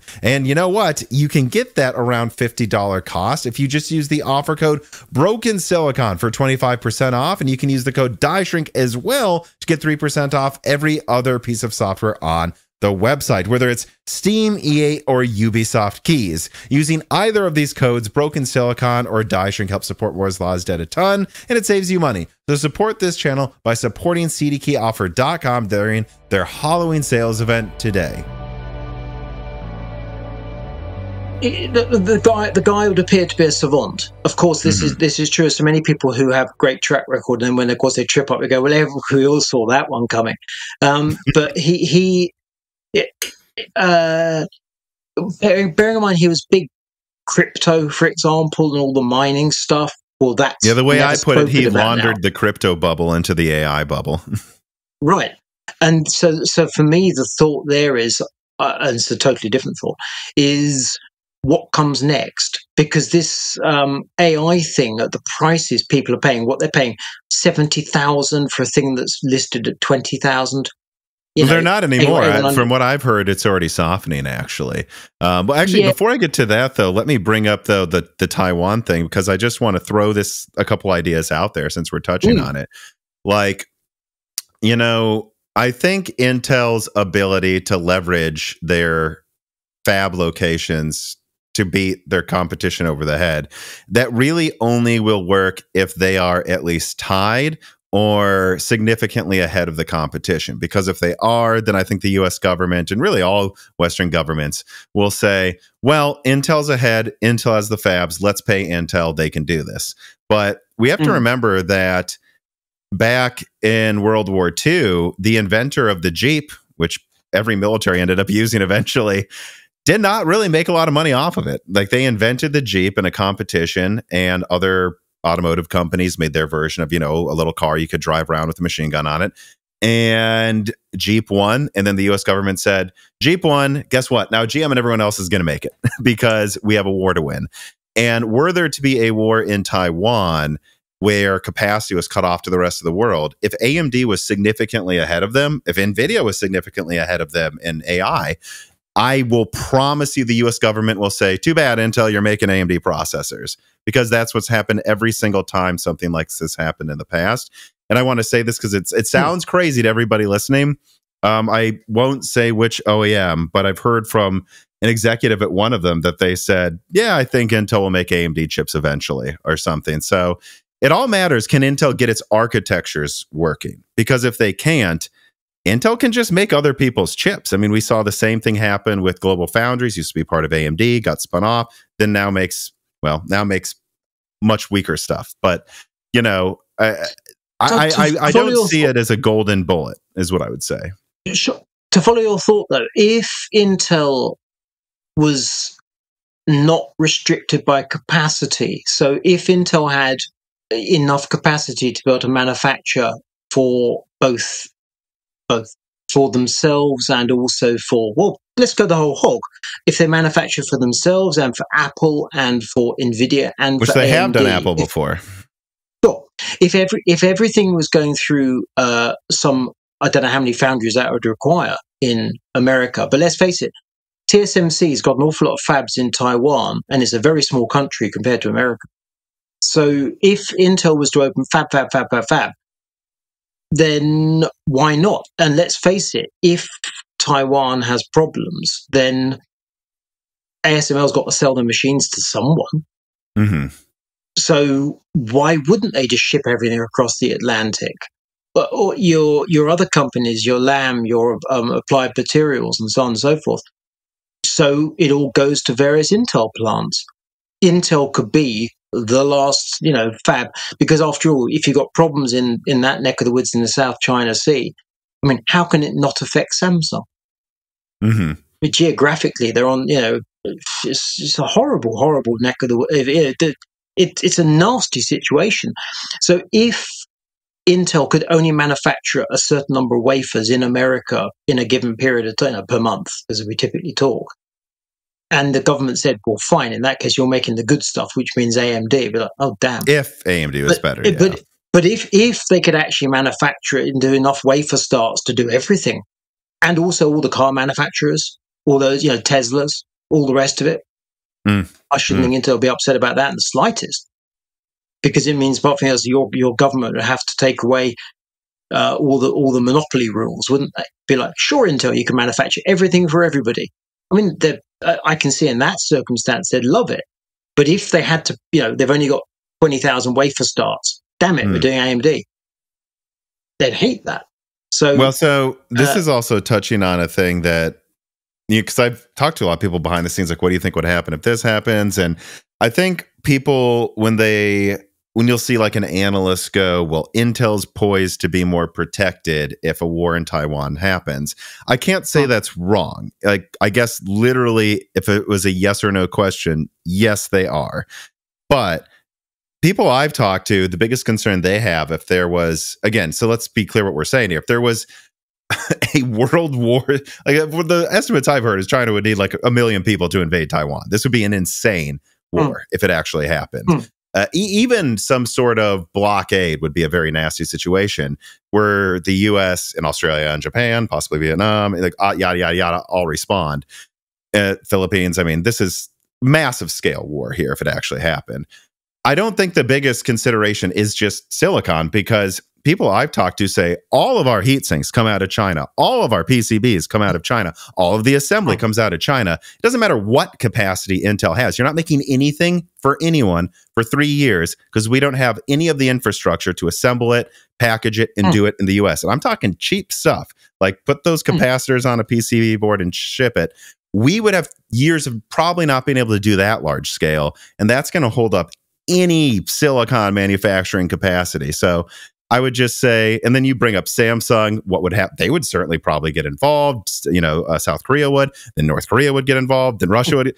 I think our considerations, we'd probably have bigger fish to fry than if Intel can make, you know, because but there's you so see- many other things. But you, but you're you're suggesting that, the, but you're suggesting the PRC would actually uh, do a massed invasion of Taiwan, and I, and I don't see why they need to do that. The thing being is, surely what the PRC needs to do is to uh, remove Taiwan's our critical need for Taiwan. What we Hmm. need from Taiwan are chips and other things. But as we know, a huge number of these companies actually manufacture in the PRC. But TSMC is in Taiwan. And I would, I would suggest that under your previous president and now your current president, we've had uh, rounds of sanctions on the PRC, uh, which have just been ramped up more, haven't they? Such that now uh, not only A100 and H100 from Mhm. NVIDIA are covered by sanctions, but now 4090s are uh, thought to be potentially covered by sanctions, which are a bit fluid. So supposedly there's not going to be a 4090 available for the next few months because every graphics card manufacturer with a But- scrap of common sense is going to ship to PRC. yeah, yeah, yeah. Okay, yeah. I thought uh, Um, there's not going to be in here. Yeah, there will be in China because Yeah, they're going to yeah, ship all of it there. Yeah. Because you'll ship them there because they Mhm. might not be able to buy them legitimately in a few months' time. So get them over there, and then anyone with a scrap of common sense over in that neck of the woods is going to grab them while they can. So they'll Mhm. they'll, they'll pay through the nose, um, and there you go. So in the event. Uh, so, so the sanctions on China, which have ratcheted up and ratcheted up, and now cover things like the Chinese are unable to buy um, this, this they can't they can't buy ASML kits to make the processors they want. That recent Huawei phone is apparently on the equivalent of seven nanometer, the um, out of SMIC. Um, although apparently people think the yields might be rubbish, but they've managed to make something pretty good on a process that's the end of the line for them with the current technology they have. Um, so that's the line drawn. So it seems to me that the sanctions that your leaders have imposed as though your country is at war with the PRC, because I don't know why they brought in the sanctions as such. The purpose, we can see the purpose, but what, what's the motive? You're not at war with China. So, you uh, know, I, I, it's, no, go on. well, so it would seem to me that the the idea is to prevent the yeah, we've heard the expression um, trying to prevent the rise of um, China. And that clearly isn't a thing because China continues to rise. I mean, it's, yeah, it's, well, it's a huge. I mean, they're about to default on the biggest amount of debt in human history, so we'll see what happens after that. But sure, but, but but then I mean, I think the, I think the American national debt is thirty trillion dollars or something. Um, so thankfully, you have the no, reserve no, I know, but um, the way China has these ghost cities, though, and they don't like the problem. Oh, the thing with oh, yeah, yeah, America is you, it's easy to be honest for America to launder the money into anything else, whereas with China. I mean, what Bitcoin took off there because you can invest in real estate or Bitcoin, and then they took Yeah. away Bitcoin, so now they're just building ghost cities.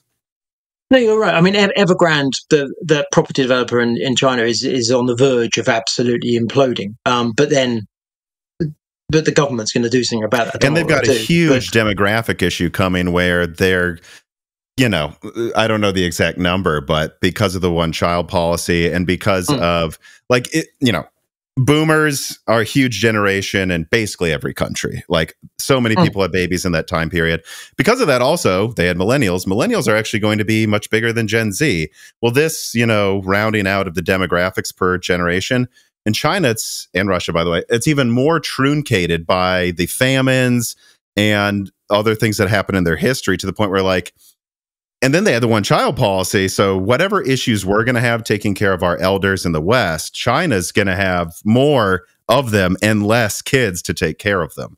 You know, so to Hmm. answer your previous question, why would China actually risk this large scale war? And my hope is they wouldn't. And I don't like putting a percentage on it. I guess the way I'd characterize it is I'm not convinced it's going to happen, but I also am not convinced because the question becomes is he crazy?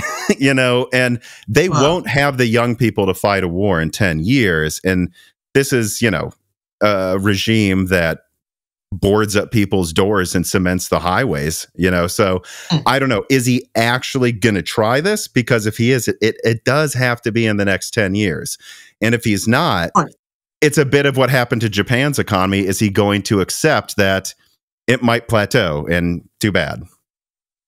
So your your your point, uh, um, uh, rather your your point. So the the sanctions would appear to be uh, to prevent China from improving their technologies in a number of areas, which obviously all lead towards military and also Uh, You know, AI. this is something that's not my decision; it's my government's. But I no, would no, no, no, no. I'm not, I'm, not, I'm not blaming you for the situation in that part of the world in the slightest. Obviously, um, uh, th- I would suspect the U.S. point, is- government knows there's only so much they can do, but they want China's AI and server infrastructure to always be one to two Right. generations behind. They know it will catch up, but they always want them behind. Right, but le- leaving aside the small point, which, as far as I'm aware, none of you over there voted for this because nobody's asked you. I mean, it's just like this thing that's just appeared, which is which is what I find so curious about it. It seems like an incredibly significant move, and it, it would have been quite nice at some. I- I'm not aware. I mean, your your next election's a year away. I, I'm Mhm. not particularly hearing um, it. You know, the should we or should we not doesn't seem to be a question. There's you know other questions, but not that one doesn't seem to be a thing. Most people to be- seem to be on the same page on what's going on with every. uh, There's a lot of hawkishness from everyone towards China right now. Right. Yeah. but but it's it's the the concern about um, uh, industrial espionage and stuff like that, and balloons flying over the middle of your country and things like that. you know, that. I think some of that's kind of revenge too. To answer your question, because yeah, um, you know, China does steal a lot of people's stuff, and course, I remember a documentary I watched where it was like they I think it's not illegal it's illegal to steal IP within China from another Chinese company. It is not illegal Hmm. to steal it, you know. So there's all these like double standards that I, I would suspect lobbyists are trying to get the government to punish China I, I for. think it. the only thing, the, the the only success in that field you had, I think, was Hollywood, um, because there was uh, they were selling zero Blu-rays in China because you know literally it, every single one was a knockoff, and it was like no no no no no, you got to stop this. And it was just let, okay. Let, let's keep. We, we want the movies. Let's keep you happy. So of course they instead went to the route and they make you change the movies to not be critical. But um, no, my point was that if if the idea is that as of the sanctions kicked off a couple of years ago, didn't they? Is that if the idea is that in the future, or uh, you, you're slowing China's progress in certain technical fields, therefore, and I imagine China was already behind America because after all, America is is monumental. Um, the gap is going to increase. Uh, it's Mhm. only going to increase over time if if the sanctions hold. If they can't buy next node, next node, they, and they can't buy the products. They mm-hmm. can't buy Nvidia stuff and so on. And we know that the the volume of uh, say GPUs that are involved in in AI, you know, Tesla and Amazon is at 20,000, 50,000, 100,000. Hence, Jensen making 10 billion in the quarter. Those are the numbers we're talking about. Take your 10 billion divide it by 10, 20,000 US dollars. Those are the volumes you're talking about. They are mm-hmm. immense. That's a lot of stuff. It's got to come from somewhere. People would notice you're smuggling it. So the gap is going to increase. So if China was to wait 10 years, then mm. they'll be in a worse, it'll make much harder for them to take Another action. argument for why. Are they crazy enough to do it? Because if they are, they've got right. to do it sooner, not uh, later. But, but, but there, there's an element of if they are not allowed to buy the stuff with their own hard earned cash, or rather the, the interest on the American debt that they hold, if they can't buy the good stuff out of Taiwan because of the sanctions, or the ASML machines, or the kit from uh, Applied Materials and and mm. Lam and all the other companies, and there's even been aggravation um, to do with Micron and SK Hynix and such like. People getting upset about you know which memory are you are you not using, uh, because again, you know South Korea. Um, it, so why would China care if every single fab in Taiwan suddenly stopped working because they put a missile through the roof? Mm-hmm. They're not allowed to buy the stuff from it. What do we care? And if they if they did something of that order of magnitude, which would be immense, and then as you say, America, Europe cannot make most of these things. We don't have the materials. You know, uh, as you, I mean, you're an automotive chap. You know full well that uh, uh, things like the, all the rare earths for, for motors and magnets and God knows what else. I believe got. they just discovered another giant, you know, pocket of that though in the northeast mm. or northwest of the U.S. Mm. though at least. Oh, but you closed your minds down because it's it's just economics. The, these materials are all over the world, but the Chinese produce 90 mm-hmm. plus percent of a great many elements. But that's what I'm saying, right? if this goes mm. down, it's just going to be three years of no one can make anything anyways and then they'll find ways to make it in other places. But it's going to so take for three, three years. years do, do you truly think if if hmm. if let's take not the worst case scenario because uh, the worst case scenario involves people dying. Sure. But in the in the event China was to lob missiles through the roof of each and every TSMC facility in Taiwan, hopefully killing nobody but wrecking everything. Yeah. Would America then refuse to buy all the things from China that China currently sells them. They'd want to, you would want to, but could you? Could you actually say, no, we're not going to buy motors and lithium and copper? I, I, I, don't you know, know, I don't know. You'd want. I don't know. You'd be able to. If you look it up, though, China actually doesn't like Russia's the biggest country with natural resources, and then America, and then Canada, and you know South America actually has well, but see what I'm saying is China doesn't. Yeah. All of their infrastructure, or a lot of it, is built around the system that we have. So I think mm. the question goes both ways, and that's not to say that that makes it any less sucky for any other country in the West. It is to say, though, hmm. I think the reason China would be very hesitant, and that's why I brought up like if they stopped Western countries from being able to manufacture things, I mean, that's what's going to stop us, not Taiwan being blown up. But the reason they wouldn't well, do President, that is once they did that, President, they're never going yeah, back, though. And that's why they wouldn't. Sure. But Pre- President Xi has said something along the lines of uh, in his time, you know, Taiwan will become will revert. I know. And, and, so, so the question becomes: bearing in mind he's extended his um, his uh, uh, rule, his reign, call it what you will, his term of office. Term of office is more polite, uh, beyond the norm. Uh, but he's not a young man. Um, you no. would think to take your, to, to uh, I think your figure of 10 years, that's probably the outer limit. Um, so that would seem to be the time frame we're talking about. And 10 years is the end of the line. No one wants to do that kind of thing at the end. They want people to go, you did it. Great. And bearing in mind, I, I, speak here as a Brit, so we were once the workshop of the world a very, very long time ago. The Industrial Revolution came from us. You know, we had Hong Kong, albeit we got it by very nefarious means, and it reverted to China. And we've seen exactly how that's worked out. So, as a Brit, I, I feel I have a slightly closer connection to how these things go than say how. Well, give some credit to the, the people across the pond, though, and Europe. They had Absolutely. their factories no, no, no, too. No, no, cat- but I, I suppose um, early 1800s, though. I mean, yeah, it was the UK. yeah, really yeah, no, no, no, the, the, the, original industrial revolution. But, um, but uh, how things go over there, I'm, I'm. It strikes me that the sanctions on China, which seems like a bit of a questionable move, but that's how it is. And now, who's going to unroll them? You know, it doesn't really work like that, does it? It ratchets one way, and to unroll it is a really big deal. And it seems to me that someone somewhere has set the clock ticking which is mm. why um, uh, various of your investors have got out of Taiwan because they consider it to be a jolly bad deal because it's just unknowable. That's the thing; it's unknowable. If it goes bad, it goes really bad. Mm. Um, it might keep on going forward. But President Xi said what he said, or it's been reported what he said, uh, and there's no denying that Intel wants fabs in America. TSMC has been made to get fabs in America. Mm-hmm. Quite bluntly, they just are. Um, and then we're starting to argue about small details, like at the minute, um, HBM memory on graphics is a really big deal. Therefore, the packaging is a really big deal. You know, CoWoS from TSMC and such like. So, will SK Hynix be manufacturing in America, and then will TSMC be packaging HBM? It's that, which is relatively speaking a detail, but it's a hell of an important detail. Um, that's the kind of realm you're in. Whilst, you know, on the one hand, you're imagining missiles going off in Taiwan, and I, I've been there six times, I think. Uh, I love the place. It's a great, great place, lovely people. It would be an absolute tragedy if this thing was to happen. But it seems to me that that's accelerating, whilst at the same time, America has got every incentive to manufacture as, me- as many wafers as they can in America, mm-hmm. plus Europe. Well, you I think that's the question, right? You know, and it goes for Europe as well.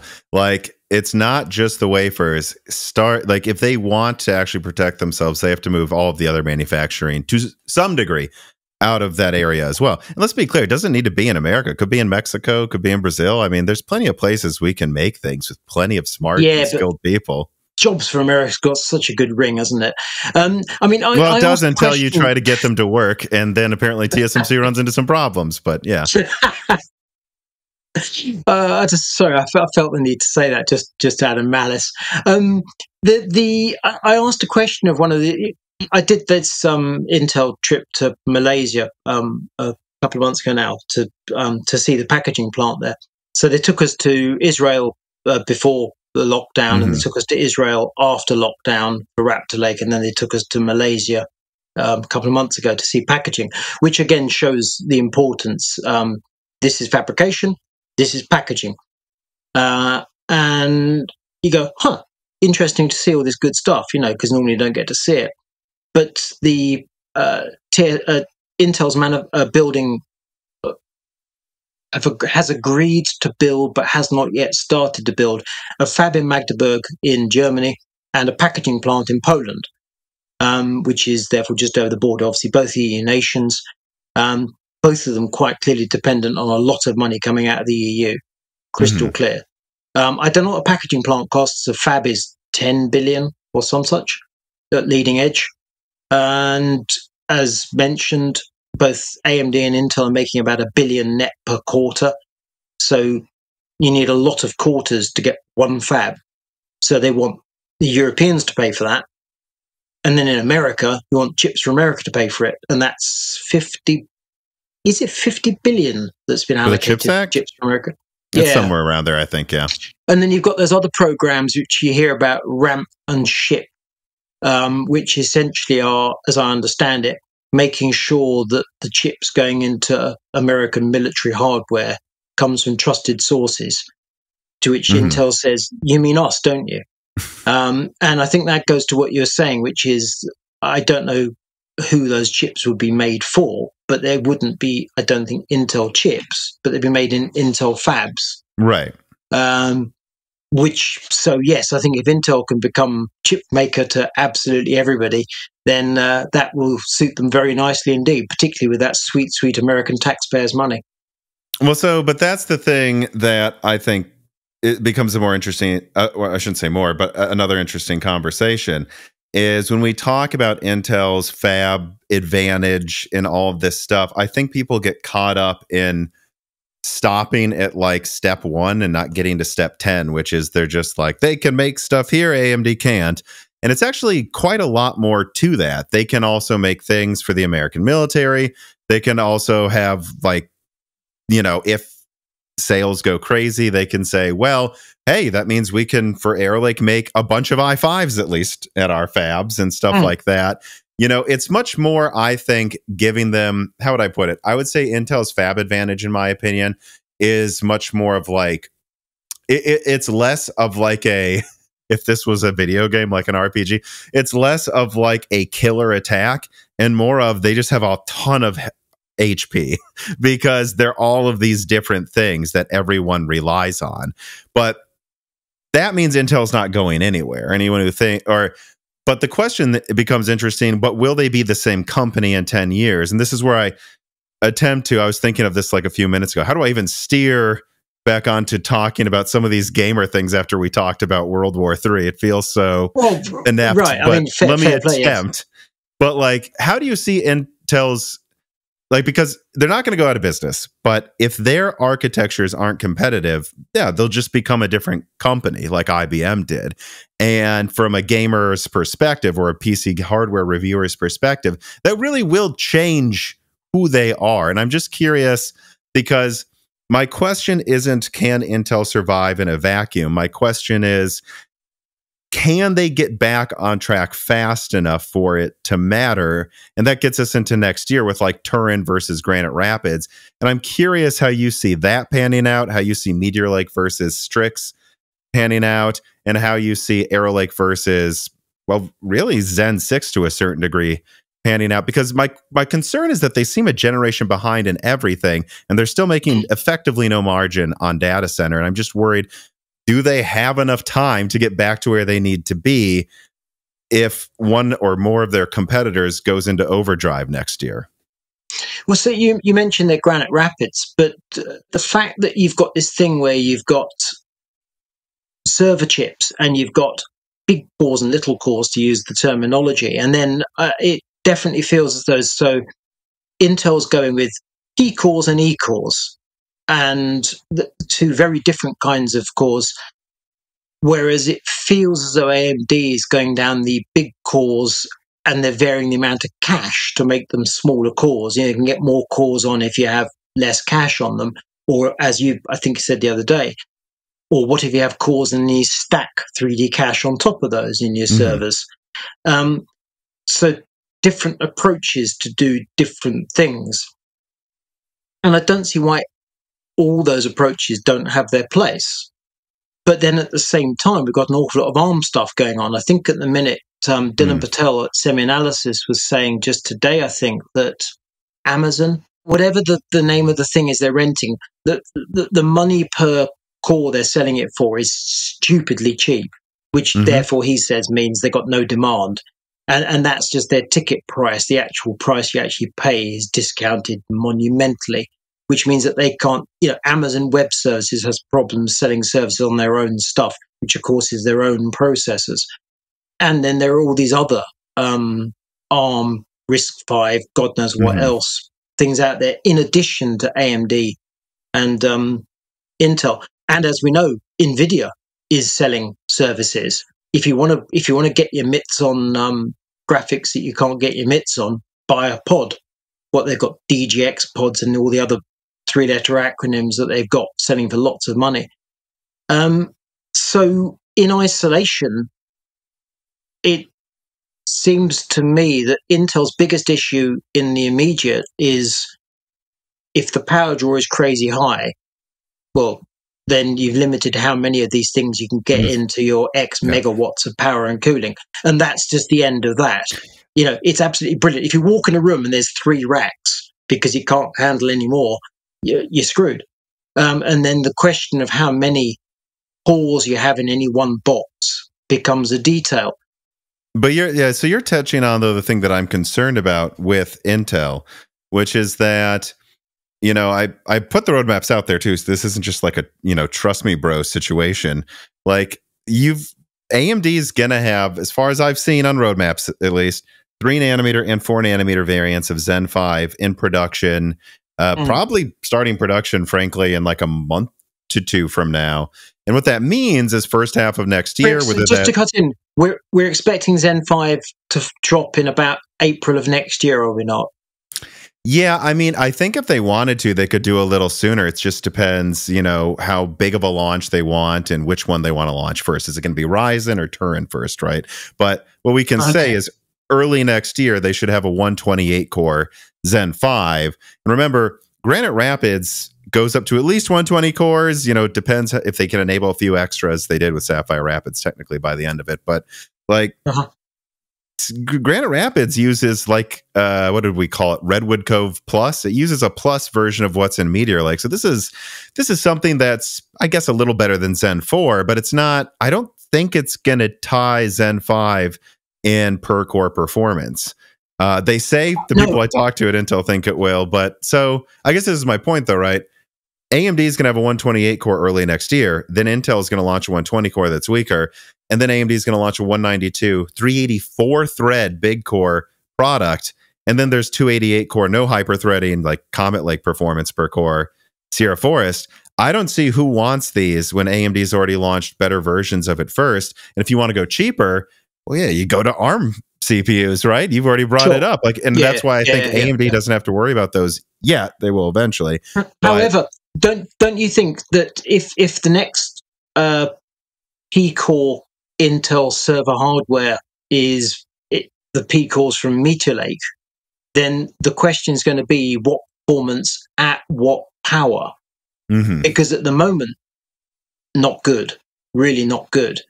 And they they have to. I think they want to double it. So whatever they have now with Sapphire Rapids, double that basically. Uh, performance at same power. And AMD is going from 96 to 128 cores. That'll probably give you with Zen 5, you know, at least a 50% or more boost right there. And I'm, Sapphire I'm Rapids concerned, is already behind. So I'm concerned with AMD that they seem happy to.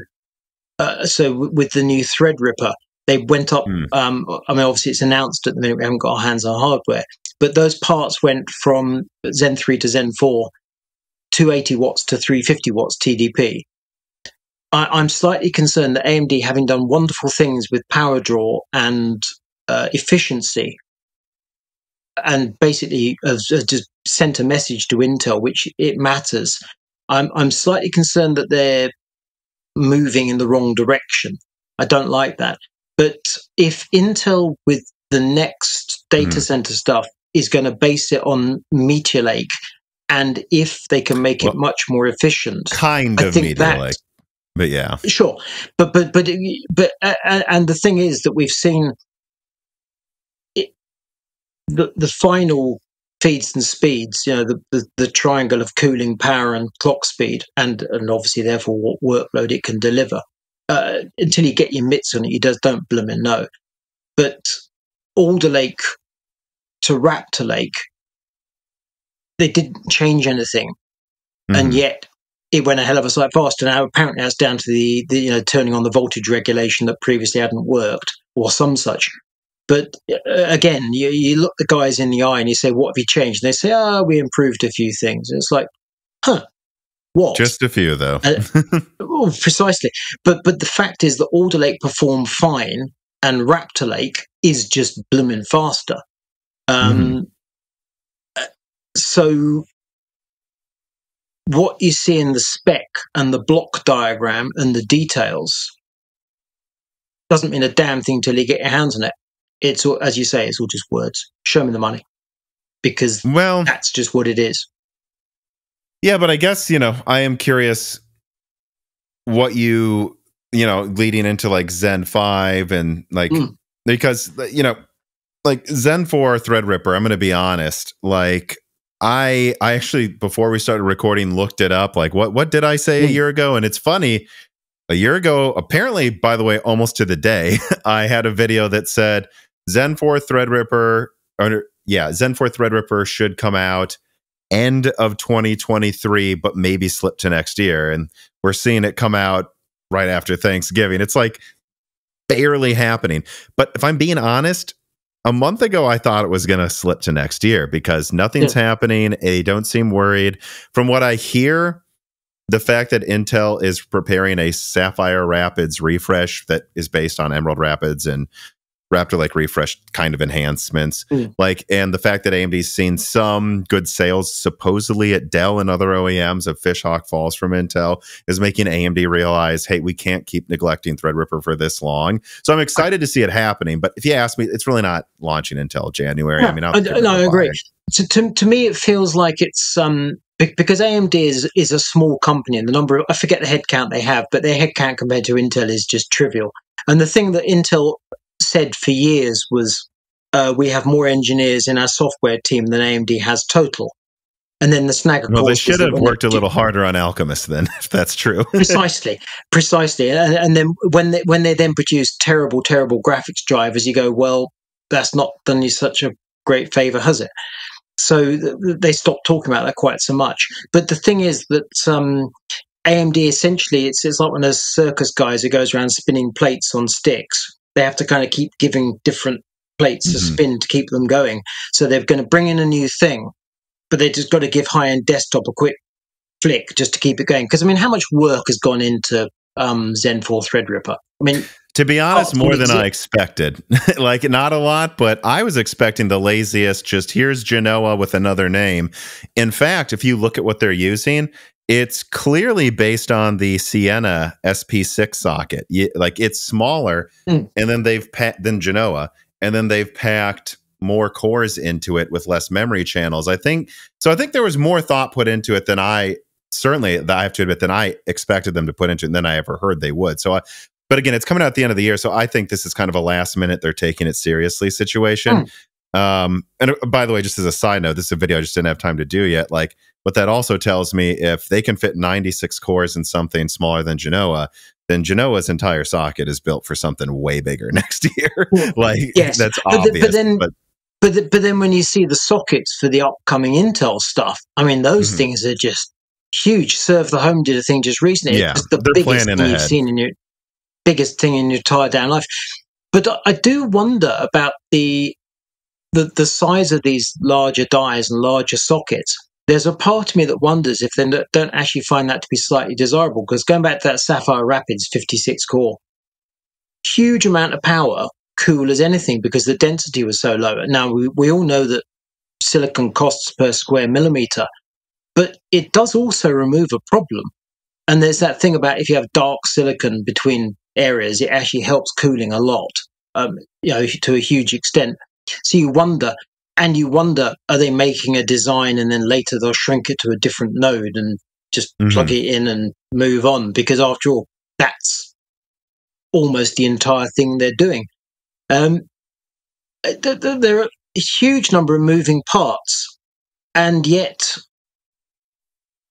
i think amd's probably working significantly on a mi300 um, because that is uh, a big deal to them. Um, so yeah, they want some of that sweet, sweet money that Nvidia's getting. If only um, they had it six months sooner. precisely, but but so often, isn't it? It's the right thing at the wrong time. Well, tough. Um, and then you've got. Uh, I think what the other thing was. Um, it's gone. But but the the 96 core Threadripper um, strikes me as it's like a party trick. I mean, they'll, mm. they'll take your ten grand for it, and why not? But it, and then and then I think one of your notes to me said, um, one of your um, audience said, basically, how the hell do you test such a thing? It's like, well, sure. I mean, you're on Blender. Great. Um, yeah. Well, Hardware Unboxed, I liked his uh, Zen 3 Threadripper Pro review because he actually showed how they used it. And I forgot what the term was, but he basically will take like 10 different videos at once. And I think it was like stabilize them across all the cores. And he's like, this used to take us a day. Now it takes us an hour.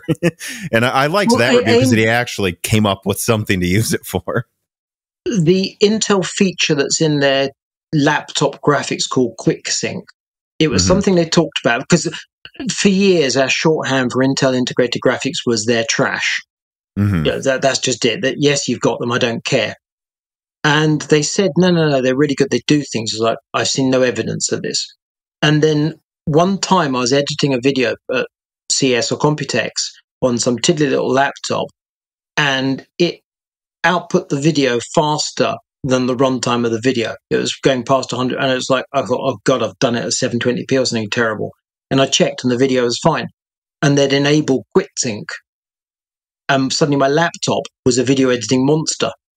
Well, And no, but that's the, the funny thing too is that's half of the reason I do use an NVIDIA graphics card for editing. It's not to say that there aren't apps that work well with AMD, but what I can say is the ones I use tend to be optimized for NVIDIA, and it just it is what it is, right? Like, and it- therefore the that's user it. experience. And, right. And, and it's a tool and it does a thing. So if suddenly your tiddly little laptop can suddenly punch through, you know, because as we, in NVIDIA graphics for editing, it tends to be uh, transitions and such like.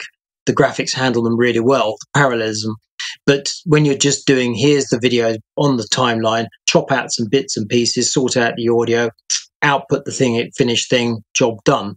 And sometimes your laptop can flog away. And in this case, it was just zip. And it was like, huh, Intel IGP for the win. Who thought? Who'd have thought that? Uh, and and it just transformed my experience. And that's nothing to with core counts or clock speeds or anything. It's down to the software. Well, that's the question, though. Is you know, Phoenix got an AI engine before Meteor Lake actually, and Strix Mm. will have an updated media, uh, an updated AI engine. Although I don't think Strix is the one where they're going hog. It's like it's a lot better than Phoenix's AI engine, but I don't think they're like really making it ten times better or anything. But I think the question then becomes though: Is AMD now laying the groundwork to finally have developers use their stuff early so they can start having some of those advantages because i'd be curious God, if you've messed with it recently Good? Wouldn't that be good? Because the thing is that for my entire life, uh, Windows and Intel, it's Wintel. You know, the, the amount of Windows that was apparently written by Intel, such that you just put it on an Intel system and it just works and it works well. Whereas AMD have to load and in the past, other other chip manufacturers like Cyrix and whoever else, but uh, it just worked, and that that was worth so much both to the user but also to the system integrators and to the OEMs. If AMD can get some of that, that would that would be a huge help. Um, they deserve it. I mean, they, they've proven that they can do it now. I think. This piece of content is brought to you by the MinisForum HX77G. It includes an unhindered version of the 7735HS and 6600M, meaning that the APU boosts to 54 watts and the 6600M boosts past 2.4 gigahertz, basically giving you a desktop RX 6600 that uses less energy. And you can also equip it with up to 64 gigabytes of DDR5 and terabytes of Gen 4 PCIe storage. And I'm going to be honest, actually, this thing impressed me. My girlfriend has been using a smaller APU only MinisForum system since spring this year. And once again this year, I surprised her with an early Christmas present that wasn't that much bigger than her old little PC. But yeah, that 6600M, it boosted its performance over the Rembrandt APU more than I expected it to. And honestly, this Navi 23 GPU had no issues running Hogwarts Legacy at almost all ultra settings, locked at 60 frames at her full resolution, which is 2520 by 1680. It's running locked 60 above 1440p ultra Hogwarts. This thing can do it. And even Metro Exodus worked fine. I could get it running above 1440p again at high settings. That's a fully ray traced game. Uh, no, you're not going to be doing 4K 120 uh, unless it's an older game, nor will you easily be doing 1440p 240. But 1080p was a complete joke with this little system, even at 144 hertz. And at the native resolution of 1680p, 60 hertz wasn't an issue with almost all games running at maxed out settings. And this thing was actually whisper quiet as well, consuming less energy than a PS5 while not making almost any noise. And look, if you wanted more RAM or storage, it's easy to open up and add it yourself. And it comes at a pretty attractive price. Support Moore's Law is Dead by clicking on that link below. Just clicking on the link below to the MinisForum website to look at the product helps this channel a ton. But if you do want it, get it through that link and make sure they know that I sent you. I'd appreciate it. And I think a lot of people would appreciate this project. I legitimately mean it. It impressed me. Check out the MinisForum HX77G today.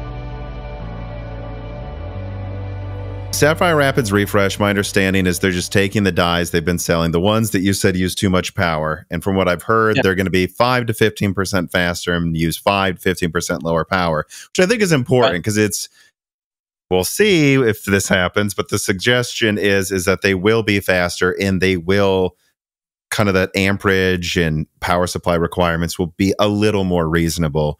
Do you think that's really enough to make up for competing with Threadripper this time around? Number one. Number two, do you think Zen 4 Threadripper is good enough that just AMD's back on top in HEDT for the time being? Or do you think because they've neglected it so long, they really are going to have to pay more attention to it for the next two years and make up for lost time? I've got no idea what the, the, the volume of the market is for high end desktop. Mm-hmm. Bearing in mind, Intel kind of invented it. Um, and they brought out originally a six core, and all we could get on the desktop was four core. Uh, and the reason you could only get four core was because that's what they decided to sell us. So it was an entirely artificial market that was sub workstation. So if you wanted really serious stuff, you bought workstation. And as we know, high end desktop was low end Xeon. Um, then Threadripper came along. You had James Prior on some few months back, that, mm-hmm. who uh, James was one of my AMD reps. I mean, he's a Brit, but he's in America, and he was the Threadripper guy. Um, so I'm sure James would like, hello James, would like to hear himself referred to as the godfather of Threadripper. Um, but he said it was a skunk works thing, and essentially it was mm-hmm. taking this part, which is from servers, and stick it in a desktop and, and wallop. And that really did seem to me to be pretty much all it was. And it was revolutionary because, sorry, how many cores? You know, you couldn't get anything like it. And it was a good number of cores and it was a legitimate product. Threadripper 2000 was a funny beast. And then the, the current Threadripper is good. But it seems to me that it serves most of the market. Now, I think moving on to uh, because the DDR5 with the new Threadripper is that's registered or ECC, so that's got to be special. So that's going to be tricky. Um, but it's obviously going to have better PCI Express support and so on and so forth. So to me, the fact you can go to the Pro version and go 96 core, I couldn't care less.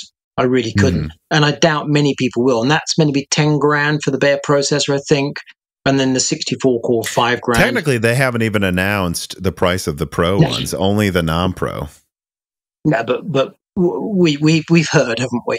Um, but so I, I, cannot think that that's a, a mass market part.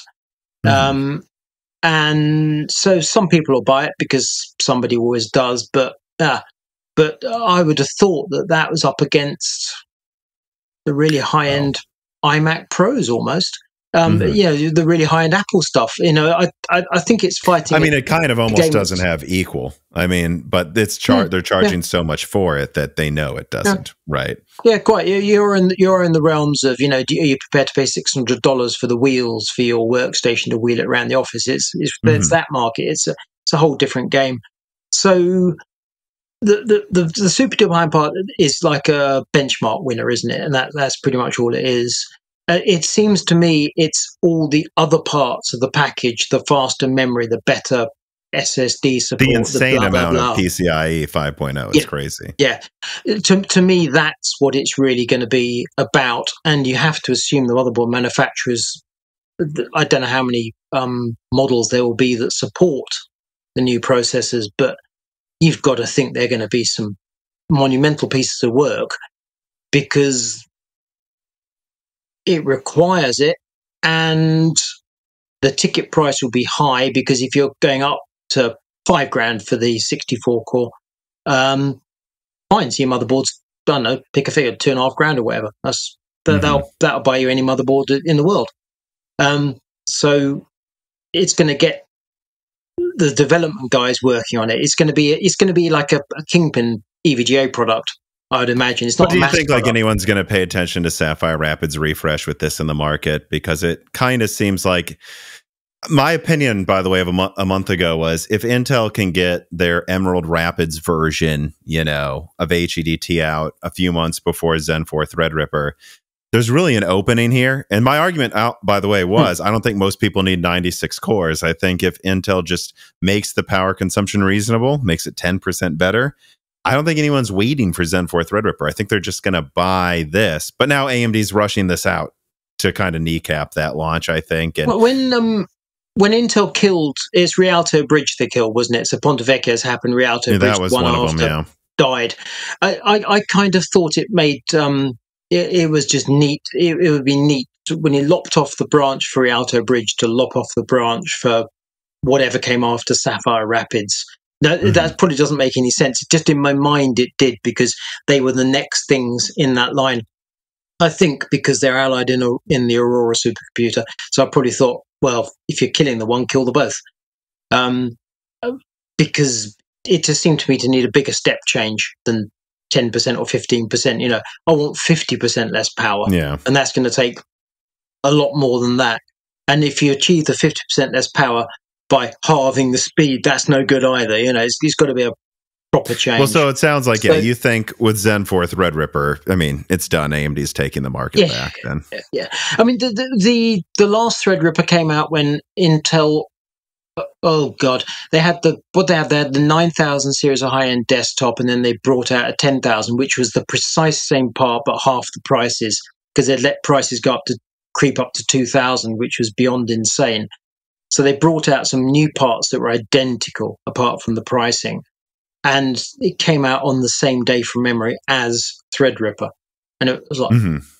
Big God! Why? Why? Why? To, to zero to almost no sampling and fanfare. They kind of didn't want people to talk about it. A- absolutely. If if you want if you want to make a thing just go away, that's the way to do it. So um yeah, if if they announce Emerald Rapids on Christmas Day or or the Fourth you know, of July whatever. or whatever, then then that would kind of be the thing. It's um, I'd, yeah, yeah. I think almost the date it happens will be significant because if it's a public holiday, but like, okay, you're telling us the tale here, aren't you? Um, now, we don't. Do care. you think you though that AMD is going to feel pressure to re- get a Zen five Threadripper out at the end of next year? Because that's my question. Because what I always heard is Ooh that might not come out until 2025, but maybe AMD's learned their lesson a little bit here. Like if they neglect this market too long, Intel will launch something and it will cause some trouble. And it would be interesting if one year hmm. after Zen 4 Threadripper, they had Zen 5, because then they'd be getting a little bit back to their old cadence of kind of launching it after.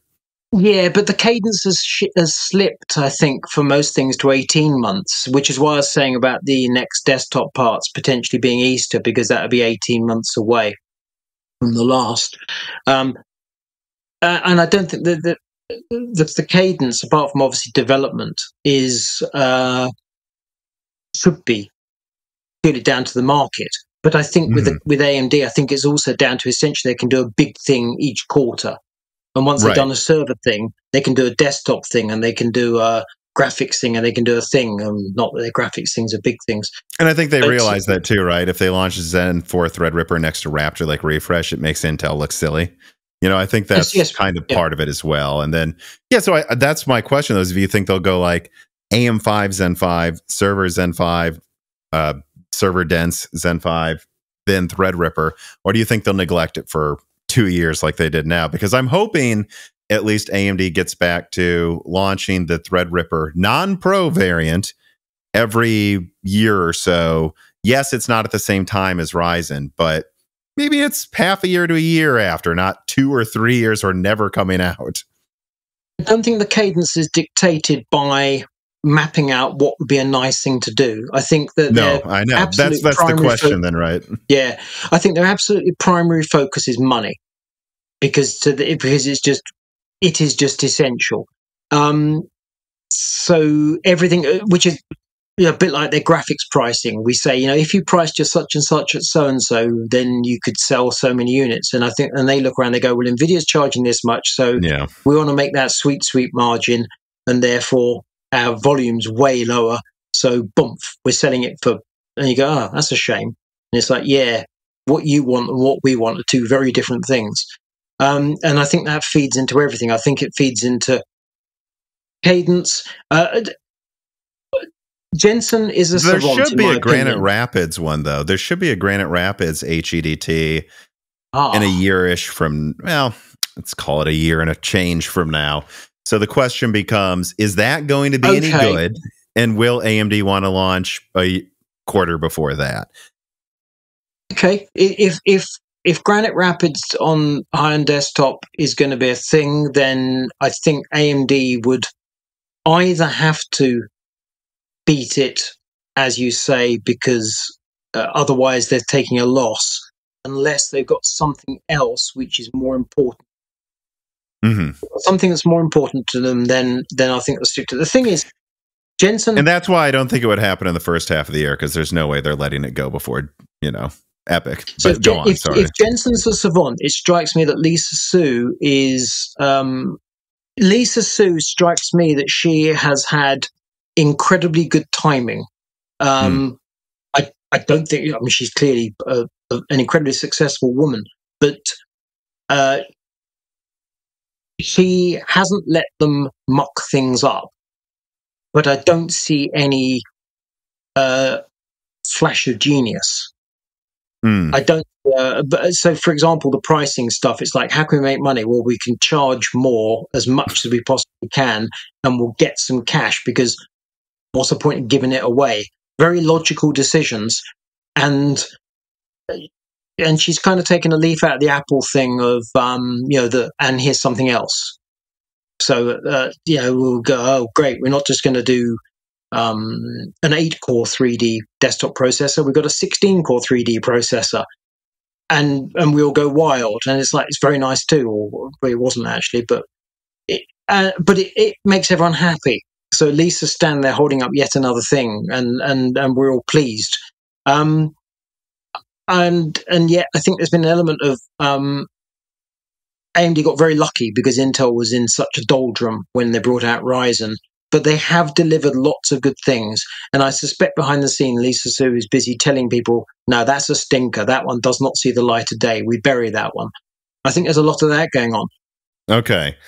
So you mentioned though that uh, Lisa Su looks at something and goes, "Well, that's going to be a stinker. We don't need to worry." And I think the fact that Zen 3 Threadripper, well, never came out, frankly, outside mm. of Pro, is a perfect example of that. Yes. You know, looking forward though, I was pretty hyped up for Meteor Lake for a while there. And uh, like a lot of recent Intel products, frankly, it was supposed to come out, what, you know, early this year and then mid this hmm. year. And then I thought, well, if they can just get it out for back to school, I think this is a big deal. You know, Meteor Lake uses the same platform as Arrow Lake. It's a huge sea change in efficiency for Intel. So this should hopefully be where laptop manufacturers sit around and go, well, we've got to do this. We've got to make good Meteor Lake laptops because it's going to be a big deal. It's going to be ready for back to school, and Arrow Lake's going to drop right into it so we can just have upgrades come out next mm. year. It'll be perfect. And also, Arrow Lake's supposed to be very high performance, so we're going to want that ready ahead of time. And what we've seen happen is Meteor Lake's launching December 14th, which is a really odd situation. And, you know, uh, Wendell from Level One Techs was recently on, and he said something to a, with a lot more detail, something I've heard, but he really expanded on quite a bit, which is that all of these Phoenix laptops are all of a sudden popping up from all these manufacturers out of nowhere. And he seemed to think that it was because they were going to have Meteor Lake refreshes. They designed for them. And then they're not ready. And now they're like, AMD, get us something. And my brother just got one. And it wasn't, there was no announcement. It was coming out just out of nowhere. Lenovo had a Phoenix version. And I was like, oh, this looks cool. And so I can't help but wonder if AMD, or should I say, if Intel left the door open here. Again, I don't think, you know, again, Arrow Lake's going to use the same platform. Um, so OEMs are going to have to design for Meteor Lake to support the future. But I feel like if it would have been out for back to school, Intel could have maybe rushed in the door with a next gen product and closed it behind them. And now they're they're basically going to launch it at the same time as Zen 5 APUs. And I'm curious if you think Meteor Lake will really be good enough, because I put out, you know, benchmarks and so like a dozen other people of Meteor Lake benchmarks that basically show it's the same performance as Raptor Lake, but it's at least 30% more efficient. Is that going to be enough against AMD, who's increasing core counts by 50%? Okay. And the, the, again, the performance thing, you see, if if they match the current, because we're we're also expecting, God help us, to have um, Raptor Lake refresh uh, mobile for desk uh, mm-hmm. for, for laptops, which is like whoopity doo. Now that you know that tells you a lot about Meteor Lake that they think they still need that in laptop. Well, I think it tells us, sadly, uh, an awful lot about the expectations of the market. Um, I was told some few years ago, I mean, within living memory, um, because I, I made a, a, a, point, I was looking at a bunch of laptops, and it's like, for the love of God, are you really saying even the new Intel graphics are so terrible that you have to have NVIDIA graphics? And um, they said, no, no, the reason we have to put so uh, Nvidia at the time was on MX 300 or MX 400. Mm-hmm. Then they went to 600. Then they went to the, you know, the, the, the four digit ones. And they're saying, no, we can't sell a laptop if it doesn't have Nvidia on the box. The public won't buy them. I've heard so similar things recently about ARC, by the way. They don't want to put an ARC sticker on the Meteor right. Lake laptops. Right exactly the same thing. So there's what the public expect. So I think you're going to get a thing going on where a bunch of the public are going to say we want the grunty performance. I think Intel is going to be uh, this move to AI and and things done by AI. Partly it's the way of the world. You know, your phone does it. The photo editing is done at least in part by AI. Um, and that's in the first instance what Intel's talking about. But there's also this feature in Windows is it is Copilot, isn't it? Mm, um, that's coming out later this year. Yeah. Yeah. So, uh, well, the, the the update to Windows that happened very recently, you can turn on, um, I think, a beta of Copilot. But the the idea, the logic of it is that if you have a personal assistant, so if you talk to, uh, and I don't dare say the words because everything will start responding, but any of those, you know, hey, and then the name of those software products, and it's pops like, "How can I help you?" And you mm-hmm. say, "Book me a flight to wherever the heck, and can you check my bank balance and see what I've got going on?" And by the way, call the doctor and ask for the ointment for my rash. Um, and all this is bouncing to the cloud and all the rest of it. And you don't want your business all over the world. So what they're desperate to do is to have the personal digital assistant on your device that has the intelligence to handle all your information and your requests and to offer you suggestions, which presumably lead to your buying stuff. And that's the idea. So it's this moving. Um, so with with AI, we've got uh, training and we've got inference, and then the next stage. So obviously, the training is monumental numbers of GPUs, and then inference is a different game. And then, as um, Jensen's told us, then you have down at the edge you have the om was it the omniverse or whatever that word was? You know so your bmw plants they have all this stuff going on. We have a digital twin of the faction. And that doesn't that's not our world at all. And then you come down to the edge and then you come down to the device. And that's where at the moment it's your phone. And I'm certain that Meteor Lake, they're desperate for the AI, AI, part of the SoC, just as with that Qualcomm thing you're looking at earlier, compete with that. And that's what it's meant to do. So it's a user experience thing. I don't know what the name of it will be unless they're literally mm-hmm. supporting Copilot in Windows. And it might well be that, otherwise, it doesn't have an Intel name. It's just Intel AI doing this thing, in which case they'll be head to head with Qualcomm because Qualcomm, if they're running Windows, would be doing exactly the same thing. Now, whether you have to have your identity locked to your Intel device and whether you can move it to a different mm-hmm. device or not, don't know. Um, but that's the kind of line they're going down. So you've got uh, Raptor Lake refresh on laptop will be X cores at X speed and whatever. And that doesn't um, have a neural engine though, Raptor Lake refresh. Right, right. So it's down to frame rate and gaming, but that, that's you, that's the gaming laptops that Tim from Hardware Unboxed has got sick and tired of. Whereas the the Meteor Lake is, I think, going to be more akin to a mobile phone, but with a proper screen and a keyboard, but obviously don't go in your pocket. I think mm-hmm. it's more that is the direction they're going in. So the, the market is forking. It's not not by form factor, although I think there'd be an element of that. I think by user experience. I think those are the words you're going to be hearing a lot of in coming time, which is going to be a swine for us because how the hell do you benchmark AI? Well, I've got two things to say to that though, because it's something that's come up on a lot of consulting calls I've been in is they'll say, well, how big of a deal do you think AI is in Phoenix? They just keep talking about it. How big of a deal yeah. do you think AI will be in Meteor Lake? They keep talking about it. And, you know, a lot of these investor types will ask, well, is it doesn't seem like any apps use it. Like, is this a waste of silicon? And I tell them, it's it's not even I don't even think it's using 10% of the silicon guys. It's using like nothing. Like they're adding a tiny neural engine onto this chip instead of adding one more e-core. And if you ask me, it's much more useful to add one neural like a neural engine that can do all these other things than it is to go from 10 to 11 cores or something because who needs 11 cores when you can have neural engines doing some things a thousand times faster. But then I also tell them, yeah, they're talking about AI because they have to. That's the new hype word. Mm, and I'm wondering, yes. and it's not to say all AI will be hype. It is to say, though, if you're marketing Meteor Lake for its AI functions, this is not H100, guys. So, like, no, no, no. I wonder what not. you think about that, though. Like, how much of it is overhyped and really not going to make a major difference in Meteor Lake sales in the short term? Okay, so so the the business about the type of AI and the, the fact the idea is it'll be on device, therefore won't have to communicate with the outside world, and therefore it means it's not dependent on communication, and and therefore obviously it also means the speed of it should be instantaneous because it's on device. Long term, total believer that'll be a big thing. Long term, mm. yeah. Uh, but the suggestion is therefore that they want to do it now. But in the uh, Meteor Lake briefings in Malaysia, we had, I forget the guy's name, who was their AI chap. And he did a joint presentation with Tom Petersen, the former NVIDIA guy who's now AMD, uh, Intel Graphics. And it was uh, quite clear that, that there's a very significant tie in between the graphics and the AI side of things, even though mm-hmm. there is an AI engine within the SoC, also the way it interacts. The graphics throughout Meteor Lake are in a number of areas, um, both as a pure graphics engine, but also connected to the AI, but also there's a, a display engine as a wholly separate thing. It's mm-hmm. quite bizarre what they've done, but they've clearly done it for good reason. The question is whether it functions.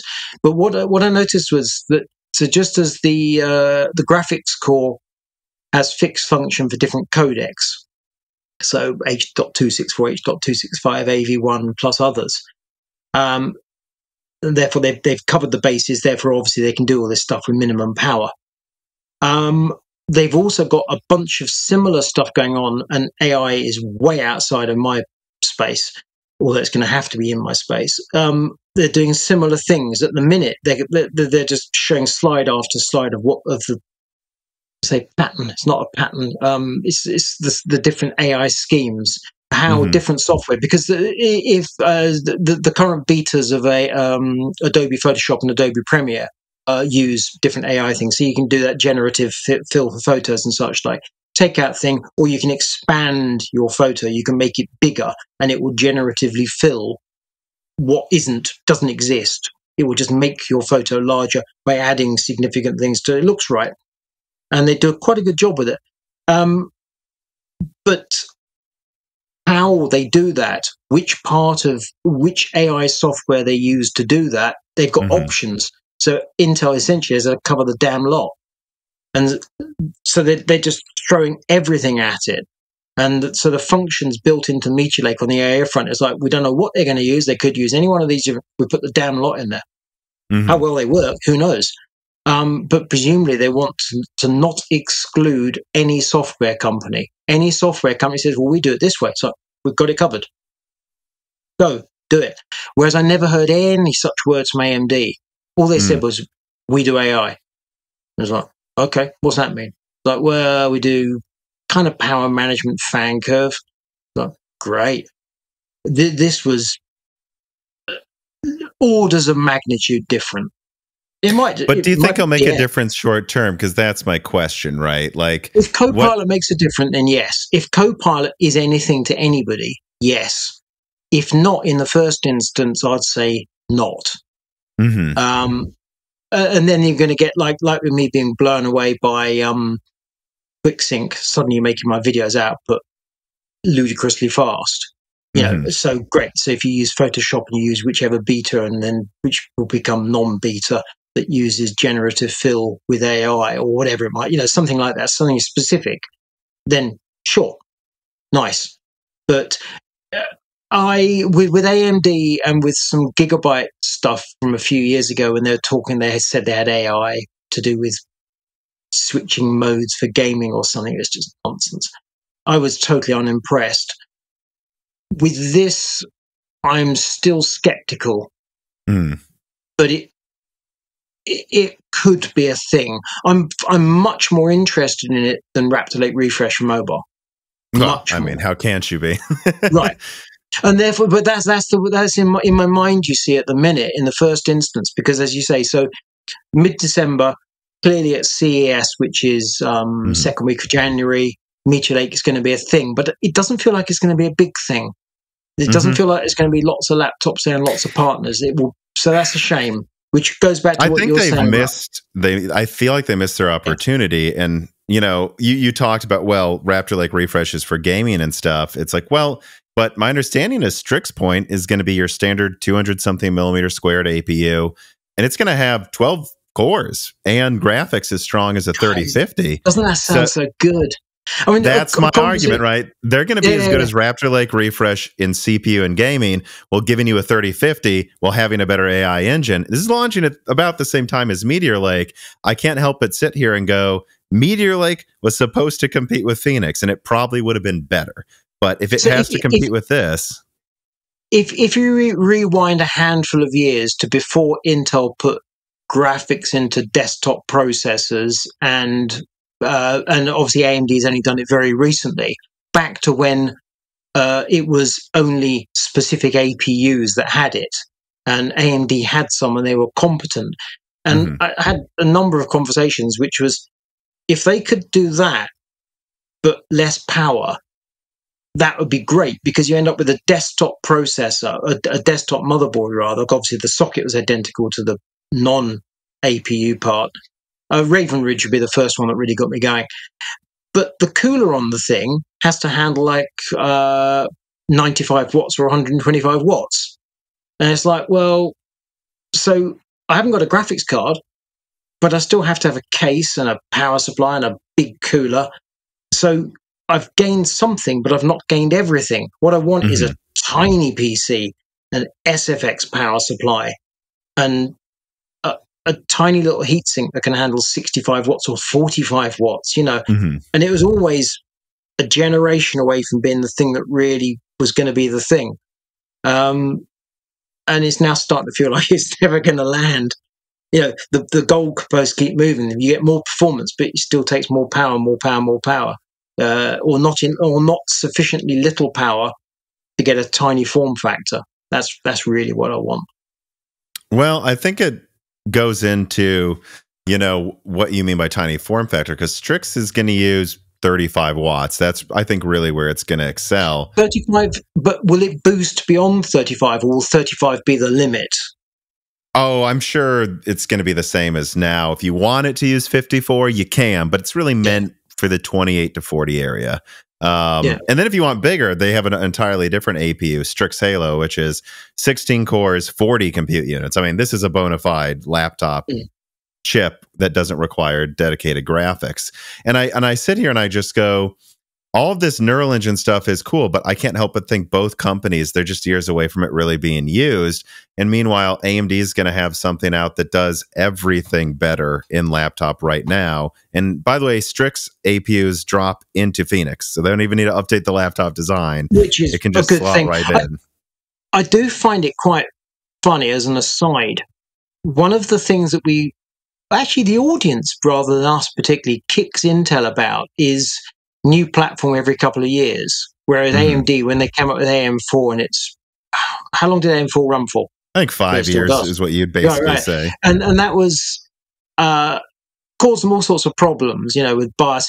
Fun enough for the APUs, you know, suddenly you couldn't, if you installed this BIOS version, you couldn't now install these processors. My It was- brother had to do some trick to go from Zen Plus to Zen 3 because Right. he had like a $180 motherboard and he had to like update this, then switch CPU, then update Yeah. again. It was troublesome, but it worked out in the end.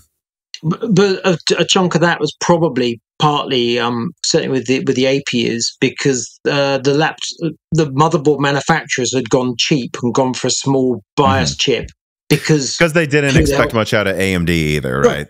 right exactly exactly which goes back to the thing about seeing development in real time you're seeing it actually how it really works when no one's chucking money at them um, so in a sense amd's virtue of sticking with am4 and sticking with the platform plus also if you had an original x370 was it um, the first Foundry 470, which got quite good.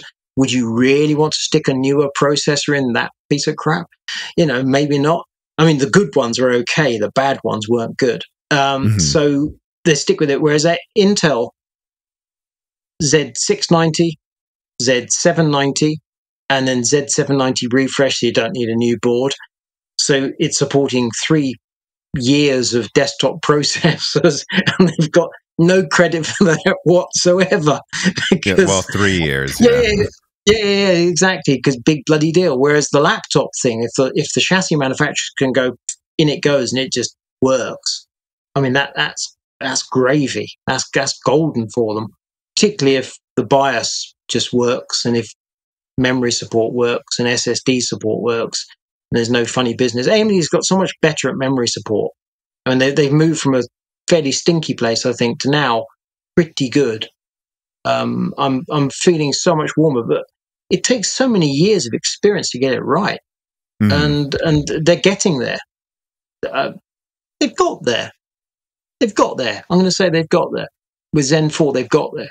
King Harkinian writes in, he says AMD's been making strides on server and desktop PCs, but seems to struggle with laptops. Well, anytime someone says this, I actually have to butt in and go, well, they've gone from 0% market share to 30%. So it's not like bad, everybody. But he says they failed to deliver the expected volume to clients several times. Since the laptop market is huge. How impactful would a failure to capitalize on Strix be for them long term? What can they do to better themselves in this area moving forward? And I'm using this to kind of lead into my opinion here. Mm. Strix will succeed if they make enough of them and actually deliver them. Like that's honestly what I think. Like, and and I always have to play devil's advocate when people complain about AMD not having enough laptops for sale. It's because they keep selling out instantly and they keep taking market share every year. It's a good problem to have, but a problem they wish they didn't have.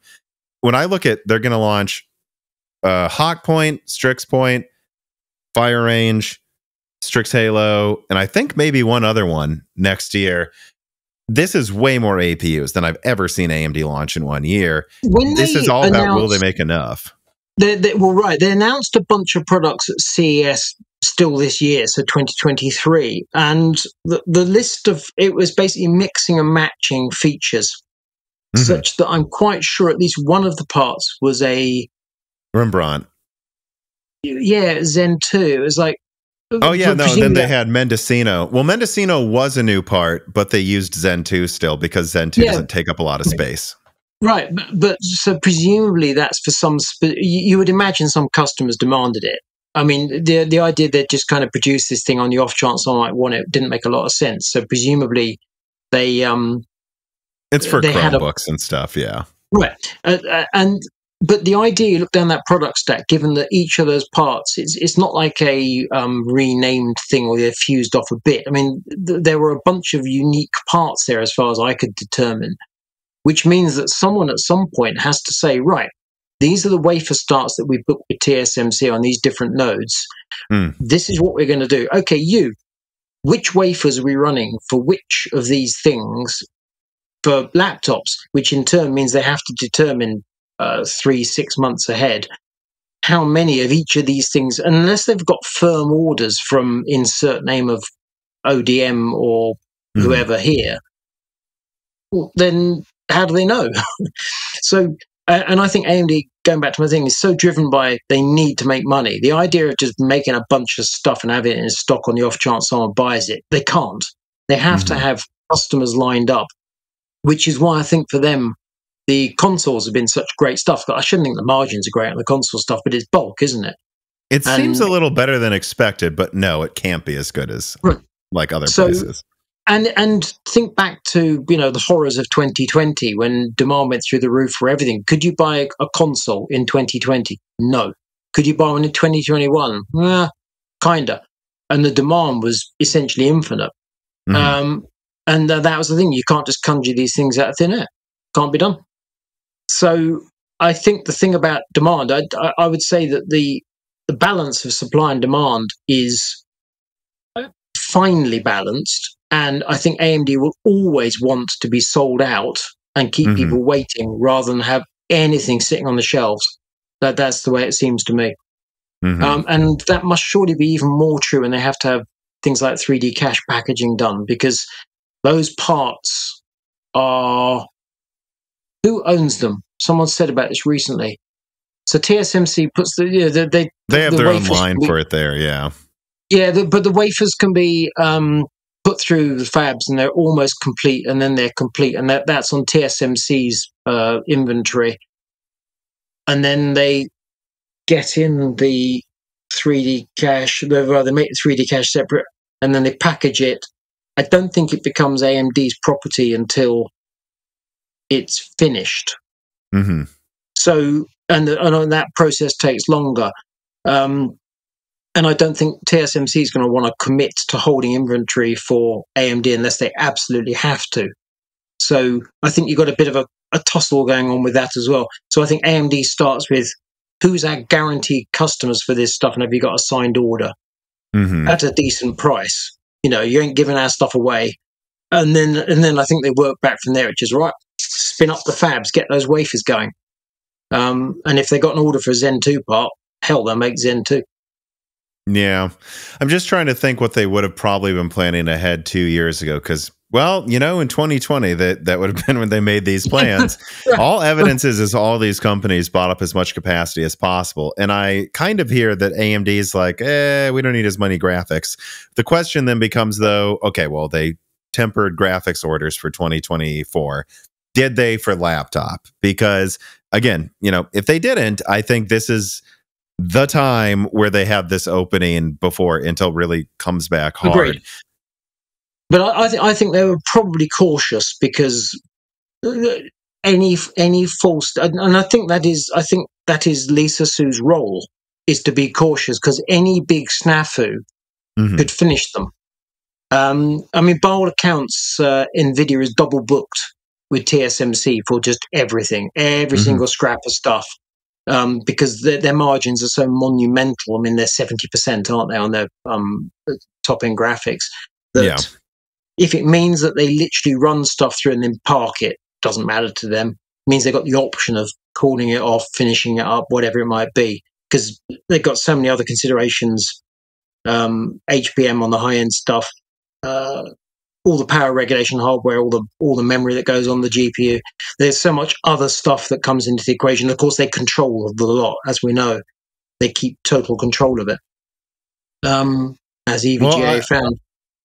I kind of like to get on that note though, because oh. one thing that I've heard is uh, NVIDIA, despite being happy that they're getting a ton of sales in AI right now, does realize that they probably misjudged their Lovelace pricing, at least with the 4080, quite a bit. And I'm curious if you have any thoughts on, and I think there's an interesting way to ask this question. Like, I remember I told Dan to this after I put out my uh, super leak, like where I basically outlined the three cards they're going to launch. Mm. And I told him, from what it sounds like, the 4080 Super, it is going to use the fastest 24 gigabit per second memory. It's almost certainly going to use the full die, and they're probably going to push it to a higher wattage because they can. I mean, it uses the 4090 cooler. They probably mm. clocked it too low from the start. So I think they could launch something 10 to 15% better. And it's not decided. You know, frankly, these things really aren't decided until a week before they announce it. But they are considering launching this thing better than their current one for $1,000 instead of 1200 which means, well, if you think about it, that's like a 10% performance boost, a 20% price cut. That's a 30% price to performance increase, at least on this card that, to be fair, nobody's buying. But mm. I'm curious if you think that's enough to make a big difference. We can talk about the other super ones if you want, but there's a part of me that goes, because I saw this in the comments section for my video, they're like, still not enough. I almost wonder if there's a psychological thing going on here that NVIDIA is going to run into a little bit, which is you're not going to get people to you're not going to get a lot of people to pay a thousand dollars for an 80 when they see 80 they think seven to 900 they do not think a thousand. Um, the, to be fair i think the 4070 super will basically be that but then will people say i don't want a 4070 for $900 or 800 though you know? So I'm, I'm curious you, if you think that's enough. Oh, after you um, talked about the supers and I was reading news about supply of 4090s potentially going to the PRC for the next few months, which obviously would have ramifications.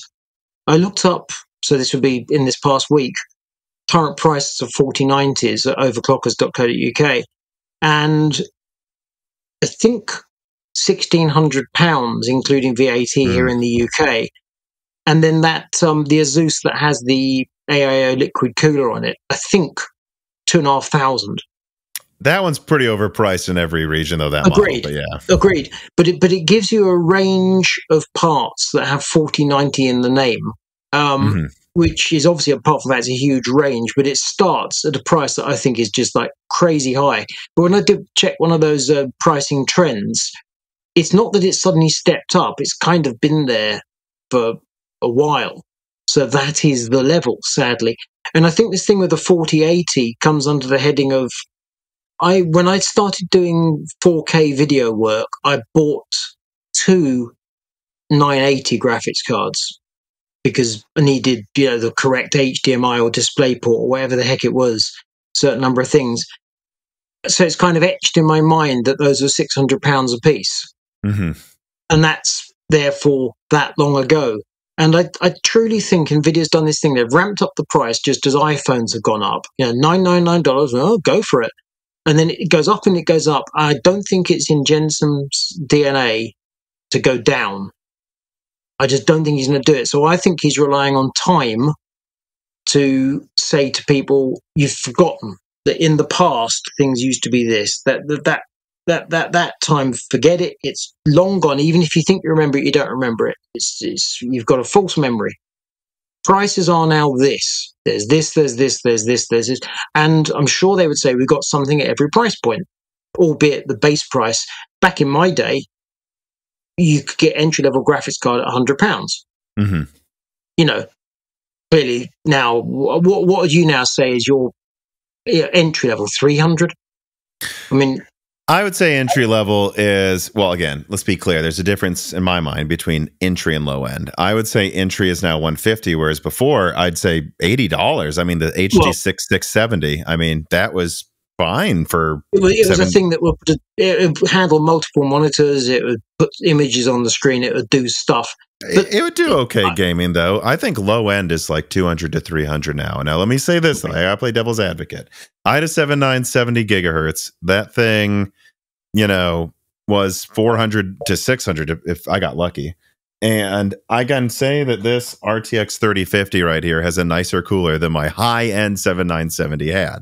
Do I think this should cost more than 200? No. Is that more no. than 100? Yes. But the cooler is better than my old high end card, which you so remember when, the high end cards, they looked ridiculous back then. Yeah. But when um when Nvidia launched the did they bring out the Founders Edition with the 1080? I think they did. 1080 rather than 2080. you um, could argue they, they did with Kepler, but it was it was Pascal was when it really took off. I but think. when they brought out the Founders Edition initially, because we all just thought that meant reference design, and then we mm-hmm. realized mm-hmm. it didn't mean reference design. It actually meant bloody good piece of hardware that was really good and was cheaper than the add-in board alternatives, which was just like too bizarre for words. So anybody with half an ounce of common sense, in my view, bought the uh, Founders Edition. And then Nvidia seemed to kind of twig this as well.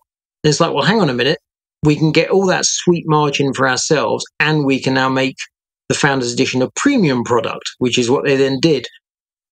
I, I just think Jensen just, if he, the, the man cannot walk past an opportunity. I, I just think it's just that. And I think now he's going to look at this product stack and go, I've got, every, I've got a price point goes from this to that. Pick one. What can you afford? Buy that. He was doing this. Um, did did you see the keynote from CES when he was doing that slightly mad karaoke thing. Um, so he Sounds did, they had some. It was an AI thing where essentially yeah. it was uh, uh, we all love Nvidia. But uh, bearing in mind that keynote at CES, I was saying CES, I mean Computex, Computex. Um, there were three thousand people in that room. It was a new hall at the Nangang Hall Two, albeit about a thousand of them were Nvidia partner employees. So they were, you know, they they were the the cheer chorus. Um, but you had a lot of people singing "We All Love Nvidia," and Jensen stand there saying, and it was some weird line. It was, uh, "I come to I come to Taiwan all the time, and I buy things from you guys. I buy things, but now for once I can come along and and you're buying from me." It's like Taiwan's been buying from Nvidia for years. What are you talking about? But and then he came up with this mantra, which was And I can say, the more you buy, the cheaper it gets. And the more you buy, the cheap. And, and the, thing The thing more is, you buy, the more you save. Very famous, yeah. The more GPUs you buy, the more money you save. Right. And it was just like, what are you on? And then I looked at it and go, yeah, trillion dollar market cap. So it doesn't matter. It, the man makes the weather. It doesn't matter what he says, it becomes true. I truly think that is his his position now, and that's the position of Nvidia. And with GPUs, they've got a product stack that goes from you know two and a half grand with an AIO cooler, which is daftly expensive, but call it two thousand for a good forty ninety, all the way down to whatever.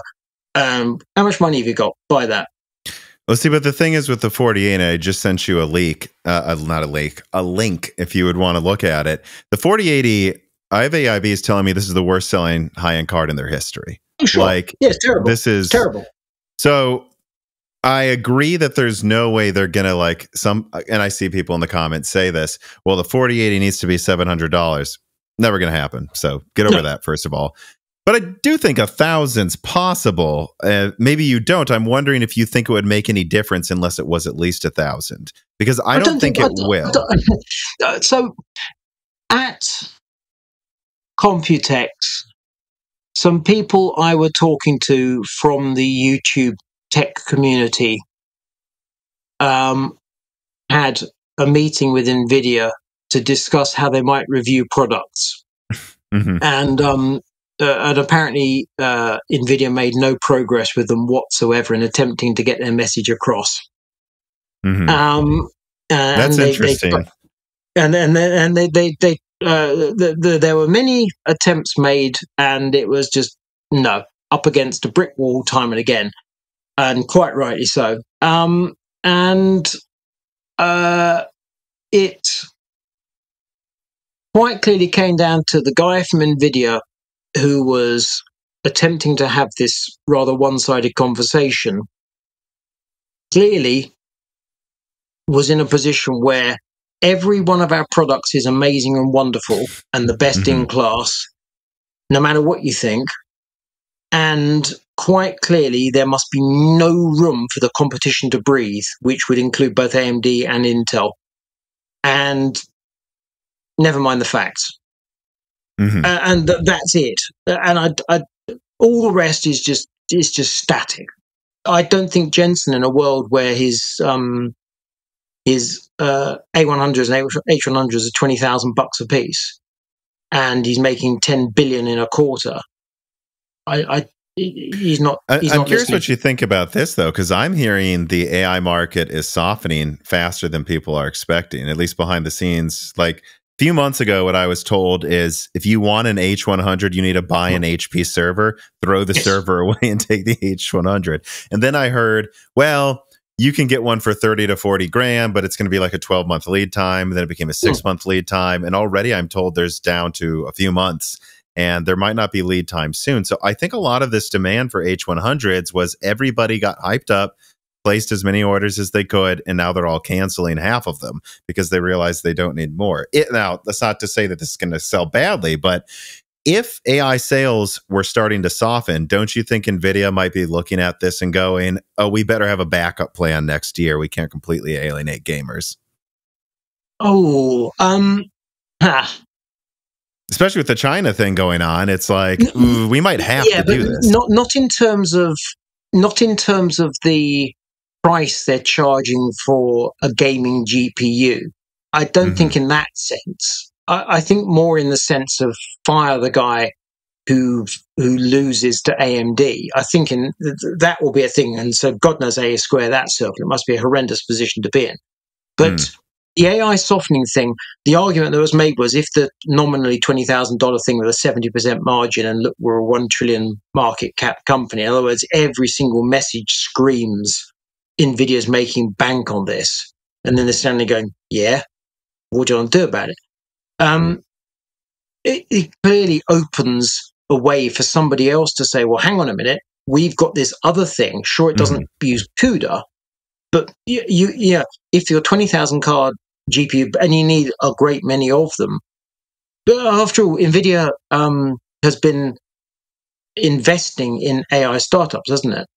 Mm. Um, I mean, everyone is right now, to be fair. Sure, but but Nvidia, I believe their investment takes the form of GPUs. Mm-hmm. They're saying here is delivery. Oh, they've always been smart about that. They'll send their developer Absolutely. tips to universities and get everyone used to using it early. Yeah. Oh yeah, yeah, no, that, that's seeding products, and Jensen would sign a server with the Jensen. No, I, I take that point in time. No, what I mean is, in order to get a share of a given company, it's like instead of saying, "Here's my check for a certain number of dollars for a percent of your company," it's like oh, so you think they'd start doing that more if that was an issue? Right. Uh, so it's just like, you know, the graphics cards are literally money. Uh, and it's just like, huh. So no, that's, that's, that's an untenable situation. Um, it, you know, if nothing else, uh, no, I, I think, I think it's remarkable, but just as the crypto thing, no one talks about, is gone.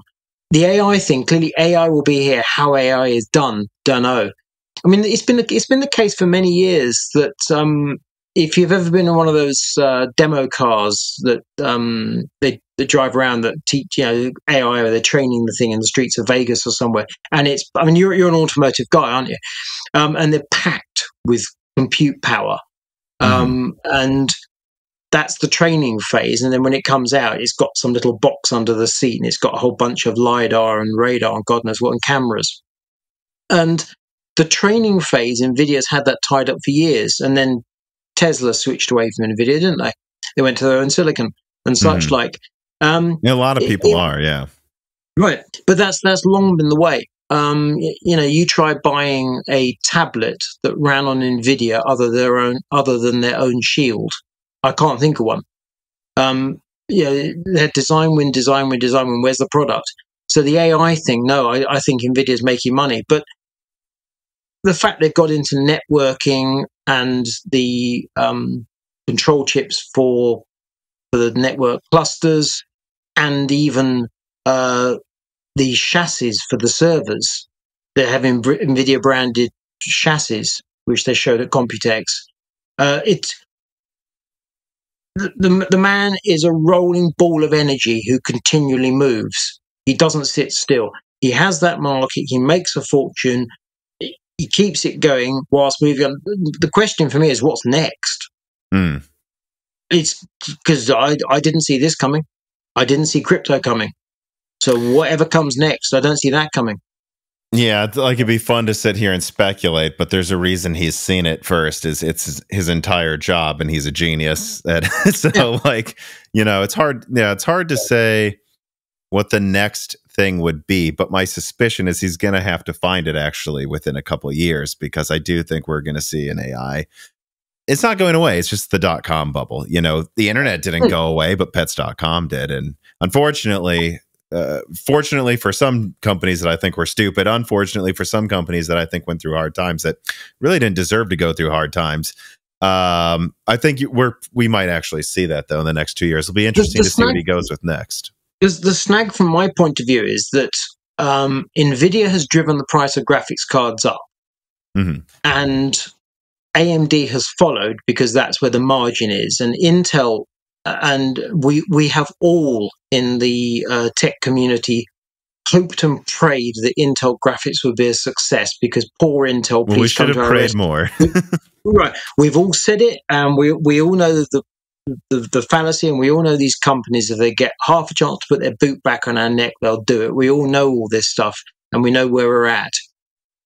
The thing to me that has changed, I said this to Gordon Ung at um, and Gordon, if you're watching this, love you. Um, is the thing for me that's changed is you can now buy consoles. So you can buy a PS5 or an Xbox Series X for four hundred and fifty pounds here in the UK, and you can buy the digital versions for two fifty or three hundred. Now, right now, an ATX3 power supply costs you yeah, yeah, 250 or whatever it might be. Um, and the idea that someone's laying out money for a 4090 and with the first wave of the 12 volt high power connector and potentially the thing melts because you have to plug the cable in just so, or whatever it might be, that's just intolerable. That's, that's just crazy nonsense. Um, I, I have a horrible dread that having driven the graphics prices so high, that Jensen's going to move on to whatever the next thing is and essentially leave everyone hanging. And suddenly you're going to go, why are we paying four grand for a gaming PC when I can get a console and the most wonderful OLED TV and a couch and For beer? the combined price, yeah. you know, because the thing is, in 2000, 2001, you couldn't get the consoles. And going back to your question from your guy about um, RISC-V on consoles, to me, any platform, it's the games. So Mhm. you've got Microsoft and Sony and libraries and Steam. If uh, and we, Nvidia tried the game streaming. I mean, how's that going? Uh, Google tried game streaming. How's that gone? You well, the- and I talked to uh, Wendell about that too, and he Hmm. argued that you're already seeing a de-cloudinization of, and you've touched on it, like doing more Yeah. things locally. Yeah. And I think we're all realizing we don't need to do half of this crap in the crowd, the cloud. Like we don't need to. Absolutely true. silly. And we're, I, I, my personal opinion's always been most gaming will be local. It will be forever Yes. because there's always a cheaper box for 300 bucks that can play the same game better than you can stream it. So at a minimum though, can we agree that if they were to make yeah, I mean cuz and I and I mostly agree with you. They're going to do the minimum they think they need to to keep the Oh, ball yes. rolling. But if they were to make that big of a difference with the 4080, what would that tell you? Oh, that Jensen is in hospital for a month and somebody had the authority to make a decision behind his back. Um, I, oh, come on. You don't think it would indicate something else though besides yeah, it, it would, it would, but I, I, I think the level of ego involved because it would be, I, I think it would be like a this company killed EVGA. Good God, you know, I mean, who saw that one coming? Uh, it, it's just remarkable, uh, absolutely remarkable. Here you've got what we regarded as the as the Skunk Works flagship I know. uh, yeah. brand, and it's just like, and so, uh, no, I, I, I truly think that's the level. That's the level we're at. It's like any margin that's being taken by a partner company is wasted margin. Mhm. Now that is truly how it seems to be. It is a brutal That's thing. certainly how they treat them. Yeah. Yes, it, it's absolutely that. It's like you fools just waste it. I mean, I, I'm I'm almost saddened that they didn't just stick with um, Founders Edition. Mhm. Call it the Jensen Edition. You know, just, let's just let's just you know just do it uh, and stick with that. Um, and to hell with the partners. I'm I'm I'm slightly surprised they didn't do that. It felt like they were going that way. I think it's kind of a slow moving coup, is what they're Mm. doing, where they're like, "Hey, if you can play ball, then you get to be part of the party. Still, if you can't, we we don't care." You know, Mm. Yeah. I do No, no, think no. that's I'm- basically their plan. Quite right, and I, I, it's um, and and therefore console. Mhm. It it really is just that. It's it's quite bizarre. Um, and yet there's still huge amounts of money in gaming. I mean, who is it suggesting that um somebody might buy Steam and then just like I don't think they're of going to. That would be Steam Phil Spencer, the guy who wants to buy everything.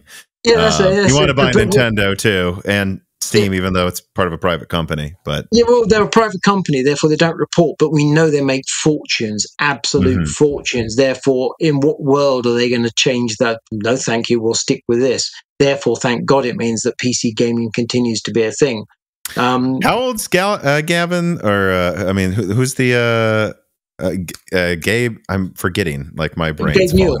if I were to guess, Phil Spencer is waiting for him to go away and then going to try to buy it.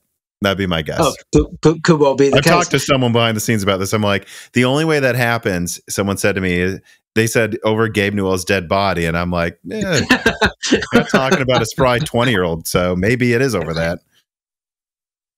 well, it's, it's a succession. I'm just plan, letting isn't it? everybody know that's how they would do it if they wanted to, in my opinion. Well, quite, and then that's the other thing is that Jensen is Jensen is I think sixty as well, um, and he's been is Nvidia now thirty years old, and Jensen, I mean, he's as fit as a butcher's dog. That guy, um, and- Very big difference, yes, between Gabe Newell and Jensen Yes. If you look at them, But- yes. But but in, no in offense words, to you, Gabe. I do love you, Gabe, but I, I, don't I don't see Jensen going anywhere anytime until no. such time as he chooses to, and I don't think that's going to be for a very long time. So um, I think geopolitics is going to move before Jensen does. But um, yeah, so um, no, 4080.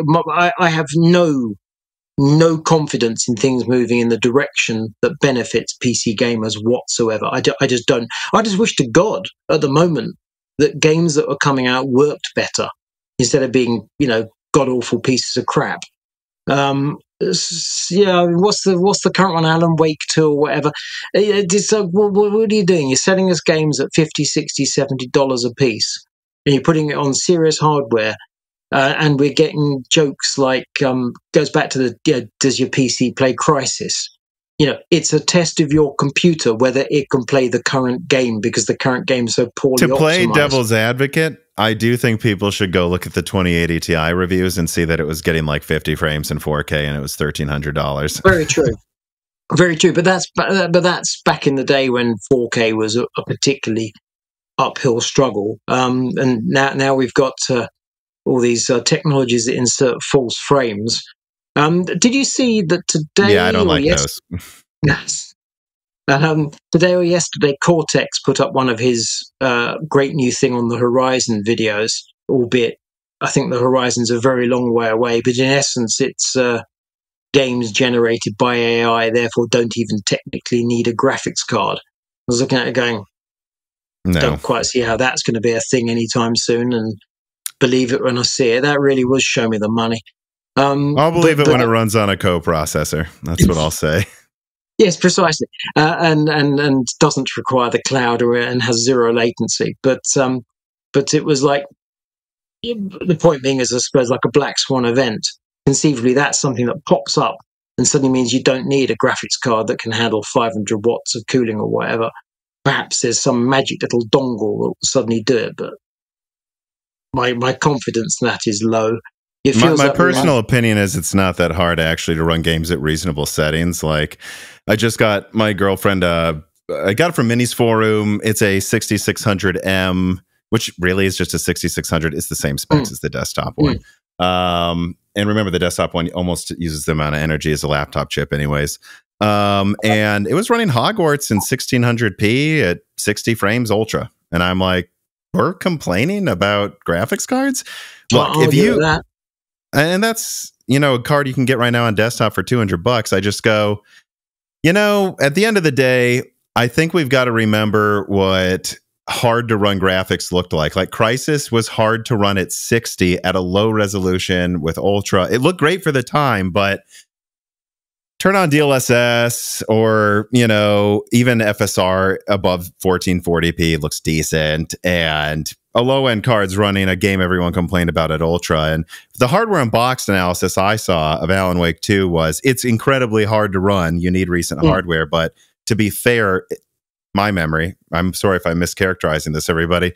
Tim seemed very impressed by the graphics, and that is kind of a walking simulator where you shoot sometimes. To mm. my well, the first one was. I don't. I don't know if this one's more action oriented.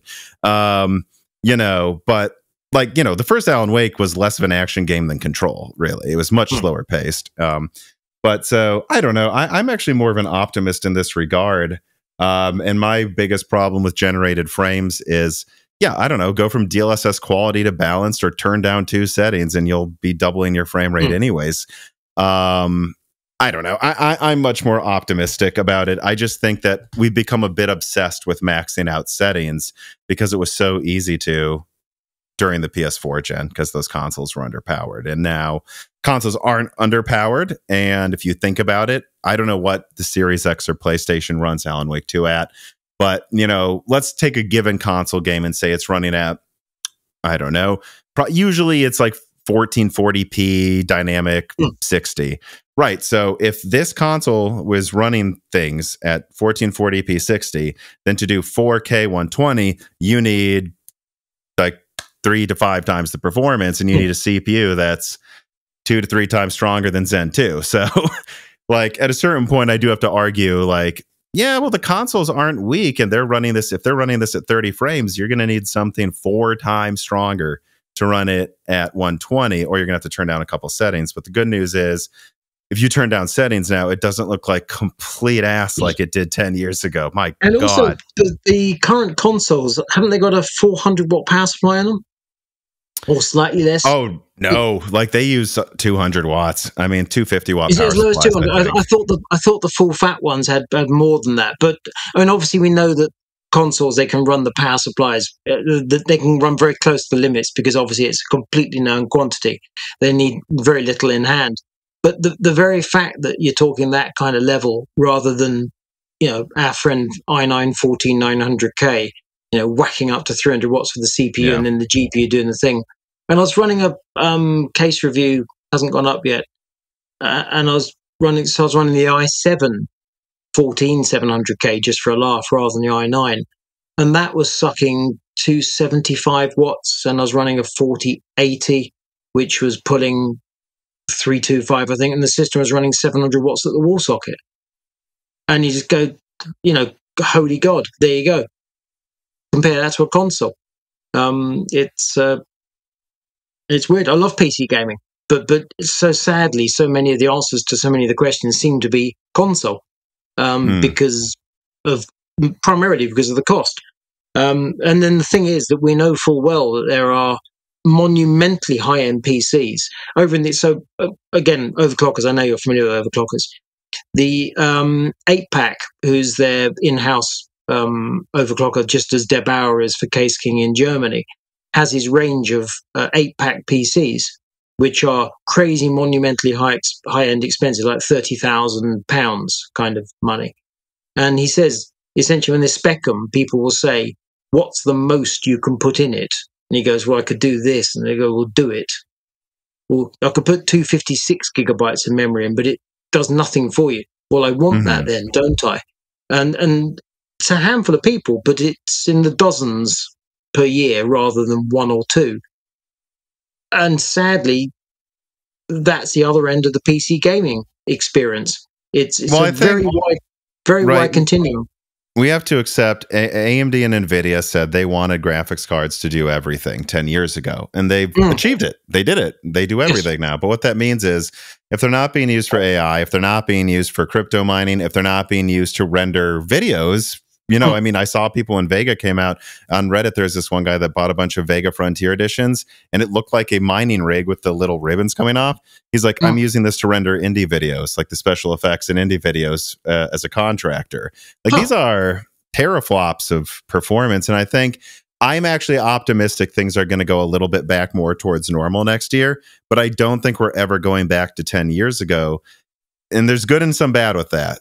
Consoles only games, so they can be sold for less because they're only going to be used for that. Now, Hmm. for now, we'll see. Uh, and then graphics cards can be used for gaming and non gaming. So there's always going to be this 30% premium, I think, to 50% over the console because you use it for more than just gaming. The good news is is that if you turn down a few settings, it doesn't look like a horror show compared to before. And it's like, yeah, so I don't know. If you want a game on PC, get a 6600 and it won't be as strong as a PS5. But turn down a few settings, eh, it'll look close. And, you know, I mean, if you want a game at 120 hertz, you can if you want to. On PS5, it's at the whim of the developer deciding if they want to add that option or not. So that is where I think the arguments for why you want a gaming PC are still there. They're just different arguments from 10 years ago.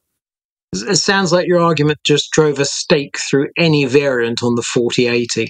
It's just like nail that down because it's just because you, you're going significantly down market from that. In other words, th- that's not tinkering with the price of a variant of 4080. That's just like ah, Well, the 7900 yes. XTX has actually outsold it by like a huge margin, which is quite an achievement for AMD. Hmm. And my understanding is the 7800 XT is still kind of hard to keep in stock in a lot of locations. So I think NVIDIA is going to do what they think they have to do. And I think the most they'll do is a $1,000 card that's better. Now, my question is, is if they charge $1,000, does AMD just drop their price to 900 and 700 and then no one cares? Because I think and maybe this would be a good thing to close on to round mm-hmm. all the way back to hours ago when you said this.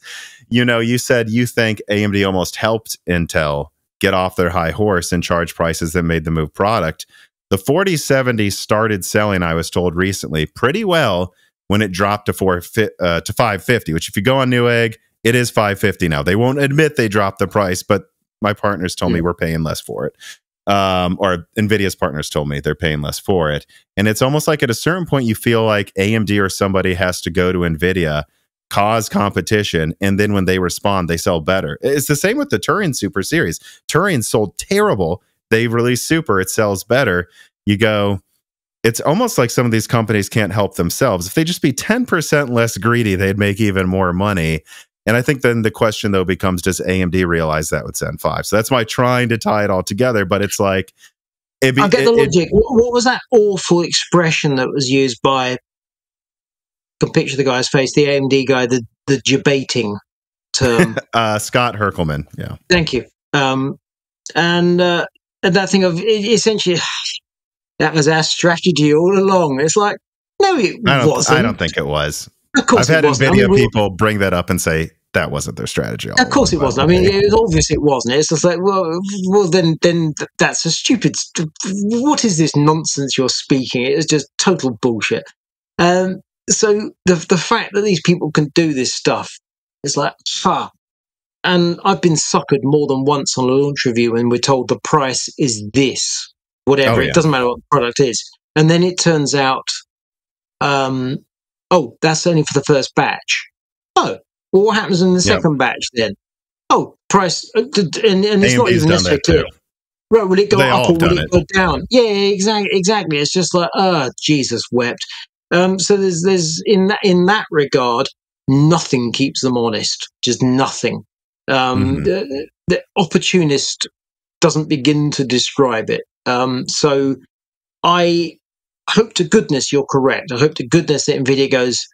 It could be 1200. I don't know that it'll be a thousand. What, what you'd like to think is Nvidia goes, we are making so much money all over the place that if we want to shift this warehouse of stuff that people currently hate, we can do this thing. And and the only question is whether they go, sure thing, let's do that thing. Wouldn't that be a gorgeous world? Wouldn't that be lovely? Um, I, I hope you're right. I, I hope your reader's right. Um, sadly, I've not seen many examples of that happening, but I hope mm. this is true. Yeah. Anyway, it's late. Yes, I was. I was like, I'm. I know you've got to get to bed at some point here, so I was trying to find a good way to end it. And, we've but, done it. We've done it. Um, please John, plug John, yourself. Tell people where to find you. Um. So, kitguru.net on the web and kitguru tech on YouTube. Okay. And of course, you can find this if you're watching it now after three hours. You've probably know where to find this, but you know, remember to subscribe to Moore's Law is Dead, ring the bell button, uh, subscribe to Broken Silicon, your podcast app of choice. Give us a review. Join the Patreon uh, to ask us questions and all the other. And this comes out, of course, early and ad free for patrons. And uh, Leo, thank you for coming on. I can't say I, I, I enjoyed this a ton, and I hope you'll come back on someday in the future. This was, this well, was really good. It. Next time we'll keep it more concise. Keep it down to the two hours. no promises. We'll see. All right. Thanks Cheers. very much, and good night, all. This podcast was brought to you by the YouTube channel and website Moore's Law is Dead. Moore's Law is Dead and Broken Silicon are trademarks of their creator, Tom. That guy is me, and I am indeed the creator, editor, writer, and showrunner of Moore's Law is Dead podcast, videos, articles, and other media. However, it's not just me. Moore's Law is Dead is a team with Broken Silicon co hosted by my brother Dan, audio editing by Gerard Cortez, renders being done by the industrial designer Jean Philippe Clermont, and special assistance is also provided by Carbon Cry and Carrie No Sugata as well. Find all of our information at www.mooreslawsdead.com on the About slash support page in the event you do want to hire me for consulting work, hire Gerard for audio work, hire Jean Philippe for industrial design work, or you're interested in working with Carbon Cry or Carrie No Sugata as well. You can also find our long term sponsors on that page if you want to show them some love for putting food on our tables. Or you can also mail us some love. You can send letters or hardware donations to the following address Moore's Law is Dead, P.O. Box 60632 in Nashville, Tennessee, zip code 37206. Although, to be honest, the best way to show Moore's Law is Dead some love is to support us on Patreon. Patrons are what makes Moore's Law is Dead content truly possible. Every month and really every day, depending on who you're talking about, me, Gerard, Dan, and Jean Philippe are working tirelessly to provide a steady stream of content that we could not keep doing unless we knew the work was possible without being reliant on sponsors dictating every little thing we put out. Don't get us wrong. We love our sponsors, but we love directly working for you, our fans, much more. If you have any extra money, even a couple free dollars a month, consider supporting us directly on Patreon. Those couple of monthly dollars will get you access to the exclusive podcast Die Shrink, voting on subjects of future podcast episodes, the ability to ask guests questions, and of course, access to the Moore's Law is Dead Discord full of like-minded people who I am sure would love to meet you. I am one of them. Additionally, higher tiers get access to early, ad free episodes of Broken Silicon, the ability to ask questions in all Broken Silicon episodes and Loose Ends live streams ahead of the recording, and the entire back catalog of Moore's Law Dead podcasts, in addition to having thanks in the credits of videos and podcasts depending on the tier, with other perks available as well. And hey, if you cannot afford to support us directly every month, please do share Moore's Law is Dead videos and podcasts with friends and family and on social media and websites like Reddit. And give Broken Silicon a five star review on Apple Podcasts or your preferred podcast app of choice. All of this does really help us so much. But like I said, this podcast would not be possible without it, the patrons directly providing predictable and reliable support every month. And so now it is time to give a personal thanks to the greatest of the fans. The following supporters are at the 10 gigahertz or higher supported levels. Brad Medlin, Drita Foles, Z Chits, Daniel D, Christopher Ricks, Aaron Close, Jan Renner, Daniel High, GZ Ziggy, Brian Regelman, MJB1, Sam Miller, Deke, SNES Chalmers, Jim Ferriera, Valcom Alev, Nicholas Buckner, Andrew S, Jensen Wang, Nathan Mose, Gregorius Ecker, Sarcastro, Evan Dingle, Greg Wanchik, Chris Rich, 3DS Boy 08, Hal Booma, Hardforum.com, Compressed Earth Blocks, Shredbird, Dr. Forbin, Benjamin Cannon, Jonathan, Blake, Franco Frederic, Jake223, Jake Martin, Holden Mobley, Zlicky, Christopher A. Butler, Sammy Malas, Stephen Hart, Meat and Pork, Tim Robb, Jordan Simkovic, Ian Clifford, Travis Gooding, Julian Leak, The Boss Haas, Danny and Deepest Learner, Steven, Mad, Zutsu Taylor, Stephen Coates, Michael McGee, Greg, Patrick Crow, Will Chief, Tommy, Mark Mitchell, Roger Davies, I Should, Mark Rainmaker, Cameron, James Anderson, Cole Addict, Judson N, Cameron, Wesley Sager, Henry Zhang, Michelle Pell, D31337 Antics, Chrysantine, The Eternal Dreamers, Nathan Zink, Hexapuma, Reginald Ari, Teak Autumn, Jackson Miller, JSMMH, Colin Tadards, Gaming Since Reagan, Jeff Sedler, Loophole 35, One Star James I, Raider, Corey Leonard, Little Germany, Shay, Post Media, Dave Schultz, Melodic Warrior, Mac Daffy, Stephen Dick, Chuck Glidden, Brett Jones, Austin Haggerty, Justin Bustle, I711700K, Joe Foot, Toka, Hardland, Slush Boss C2, Jamie Whitworth, Jansen Ingema, Joseph Kelly, Seb- David Sebastian, Samuel Park, Earth Taurus, Keith Moore, Himsa Gung, Tails2299, Neil Vale, Verga, John Sisyphos, Fenty CZ, The Forbidden Juice, Per Leaksman, RB Racer, AC, Lord Starstream, Michael Cosi, Dr. J Mad, Alex Vega, Freedy, Brian Wright, John Swin, Rodent BC, Winwang, Jola Martina, Kikum, Elber Gunn, Solarized 80, Trevor Renfro, Yeti, Thalo215, Matthew Marlowe, Raisin Biscuit, and Jeff Johnson. And of course, thank you to Sahara for the music.